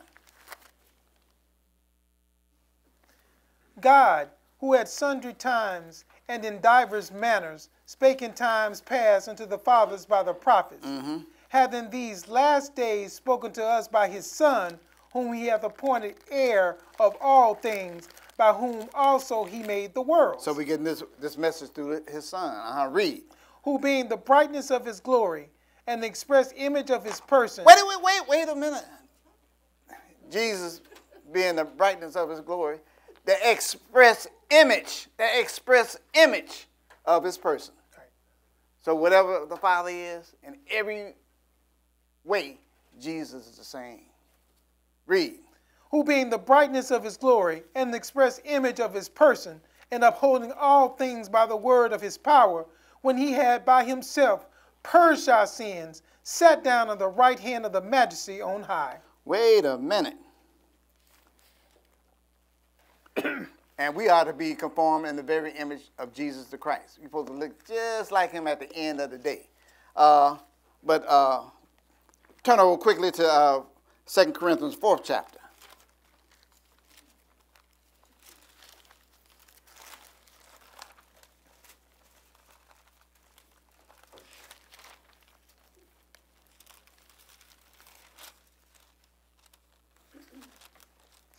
Second Corinthians fourth chapter.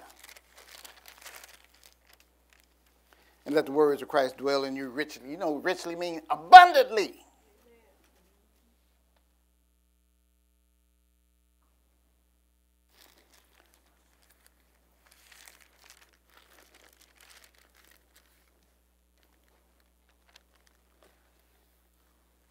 Okay.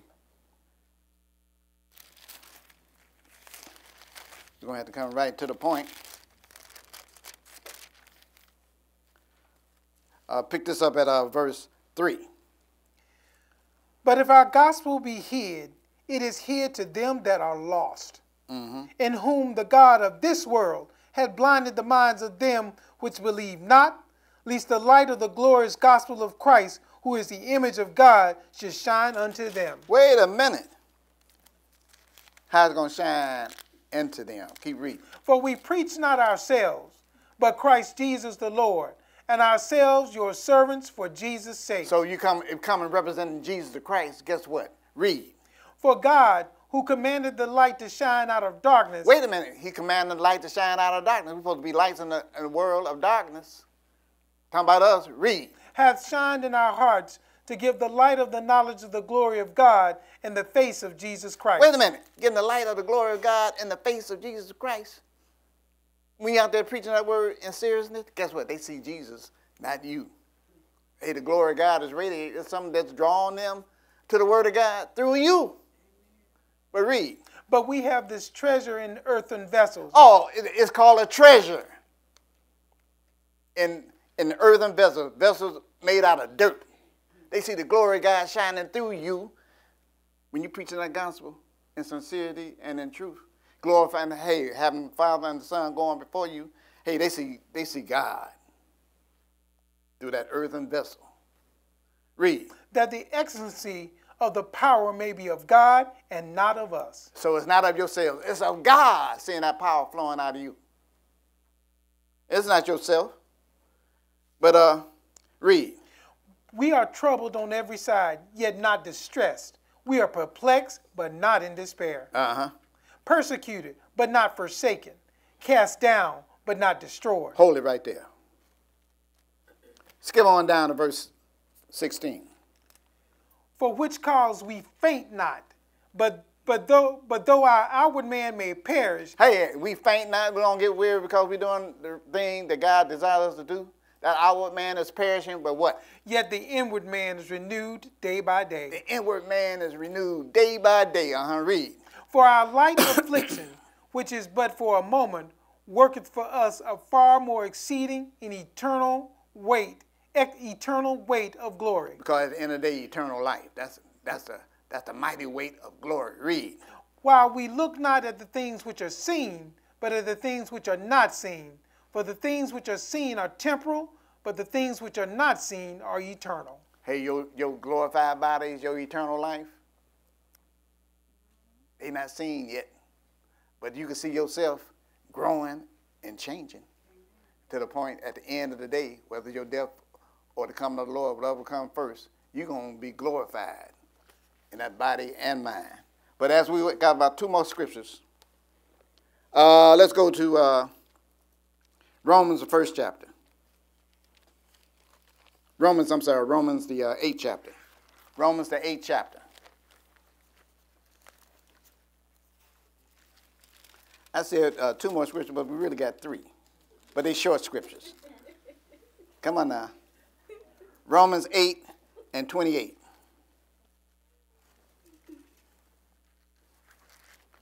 Okay, Romans 8 and 28. Okay, read. And we know that all things work together for, for good to them that love God, to them who are the called according to his purpose. All things work for the good to them that are called according to his purpose.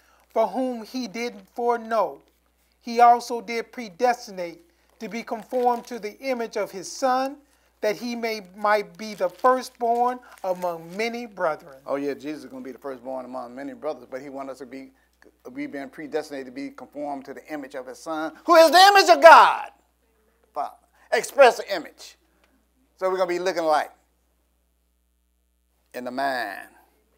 But we're all got, you know, we like stars, we got we different in glory. But we're going to have them glorified bodies.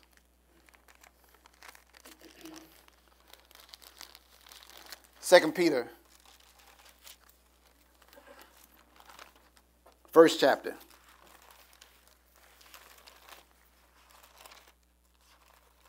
I told you Peter had the keys of the kingdom. Whatever it, whatever it takes to get in the kingdom, Peter knew what it takes. Let's see what Peter say. Second Peter.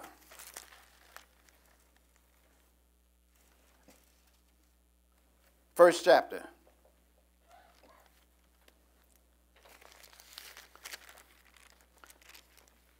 Uh, we're going to come right to the uh, point. Uh, pick it up at verse 3 according as his divine power hath given unto us all things that pertain unto life and godliness. He has given, his divine power has given unto us all things that pertain to life and godliness. Uh-huh, read. Through the knowledge of him that hath called us to glory and virtue. Through the, through the knowledge of him that hath called us to glory and virtue. Hey, the Lord calling us through his son to glory and virtue. Virtue is spiritual excellence. So excellent that it, uh, a woman was uh, humpbacked, bowed over for 18 years, and, she, and no, nobody could help her.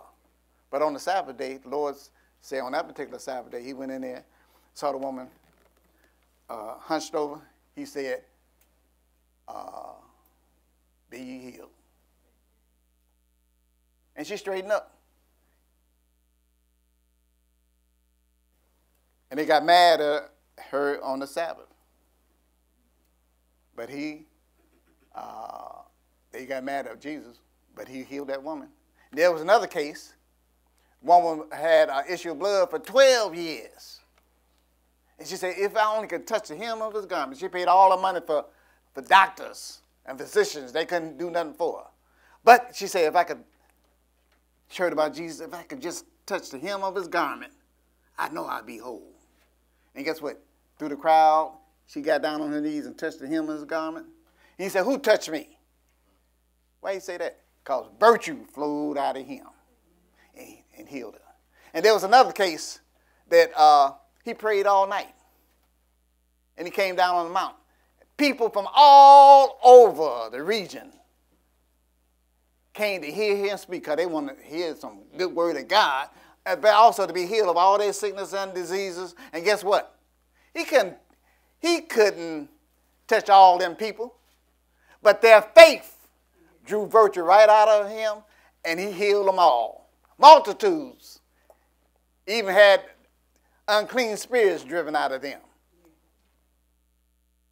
Devils are on the run because virtue flowed out of him. And Peter tell us add to your faith virtue. Now,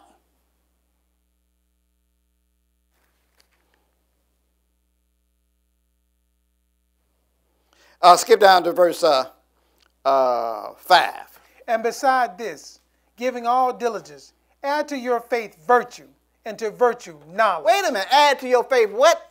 Knowledge. Virtue, and to virtue knowledge. Read and to knowledge temperance. Temperance, that's uh, self-control. And to temperance patience. Patience, uh-huh. And to patience godliness. Uh-huh. And to godliness brotherly kindness. And to brotherly kindness charity. Uh-huh. For if these things be in you and abound, they make you that ye shall neither be barren nor unfruitful in the knowledge of our Lord Jesus Christ. Other words, these things being in you, you're going to be a fruitful tree. You're not going to be a barren tree. You're going to be a tree bearing much fruit. Maybe about 19 different kind of fruit. That's you're a unique, unique tree of righteousness.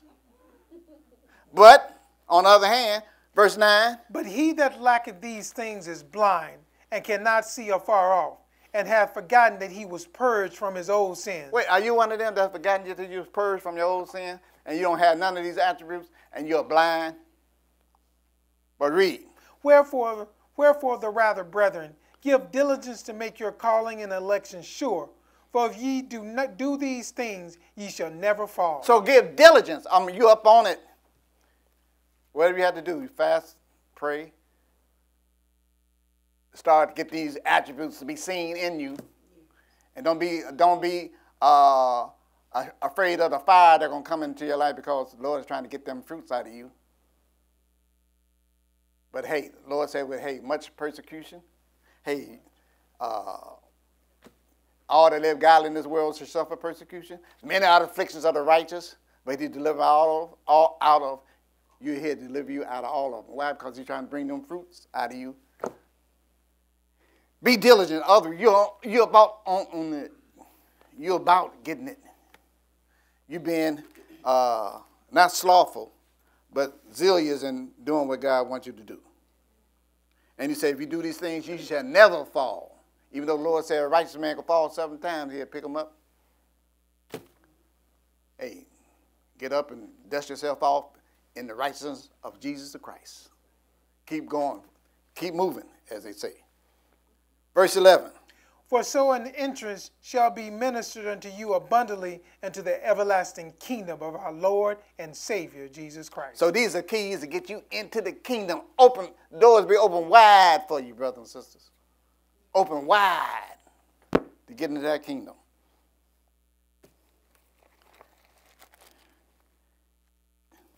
Like I said, I got two short scriptures left. 1 Corinthians 2 and 16. Second, One verse. Second Corinthians. Uh, that's, uh, we'll see when we get there. Okay. Sometimes I can't read my own writing. 1 Corinthians 2. Because we got to make sure, brothers and sisters, we in that mindset of being a spiritual brother and sister, growing in, in spirit and in truth.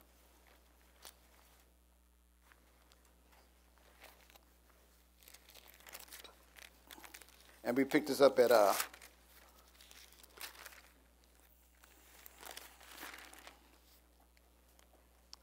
when the uh, first chapter of uh, 1 Corinthians, second chapter, and picked up at verse 15. Wait a minute. Uh, yeah, 15.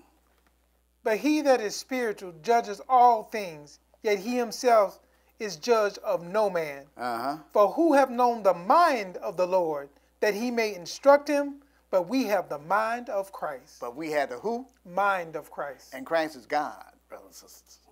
One of the Godhead members. That's what he's doing. He's developing us in his mind. Now we got to have a body to go with it. Let's go to Philippians, the third chapter. Philippians, the third chapter, last scripture.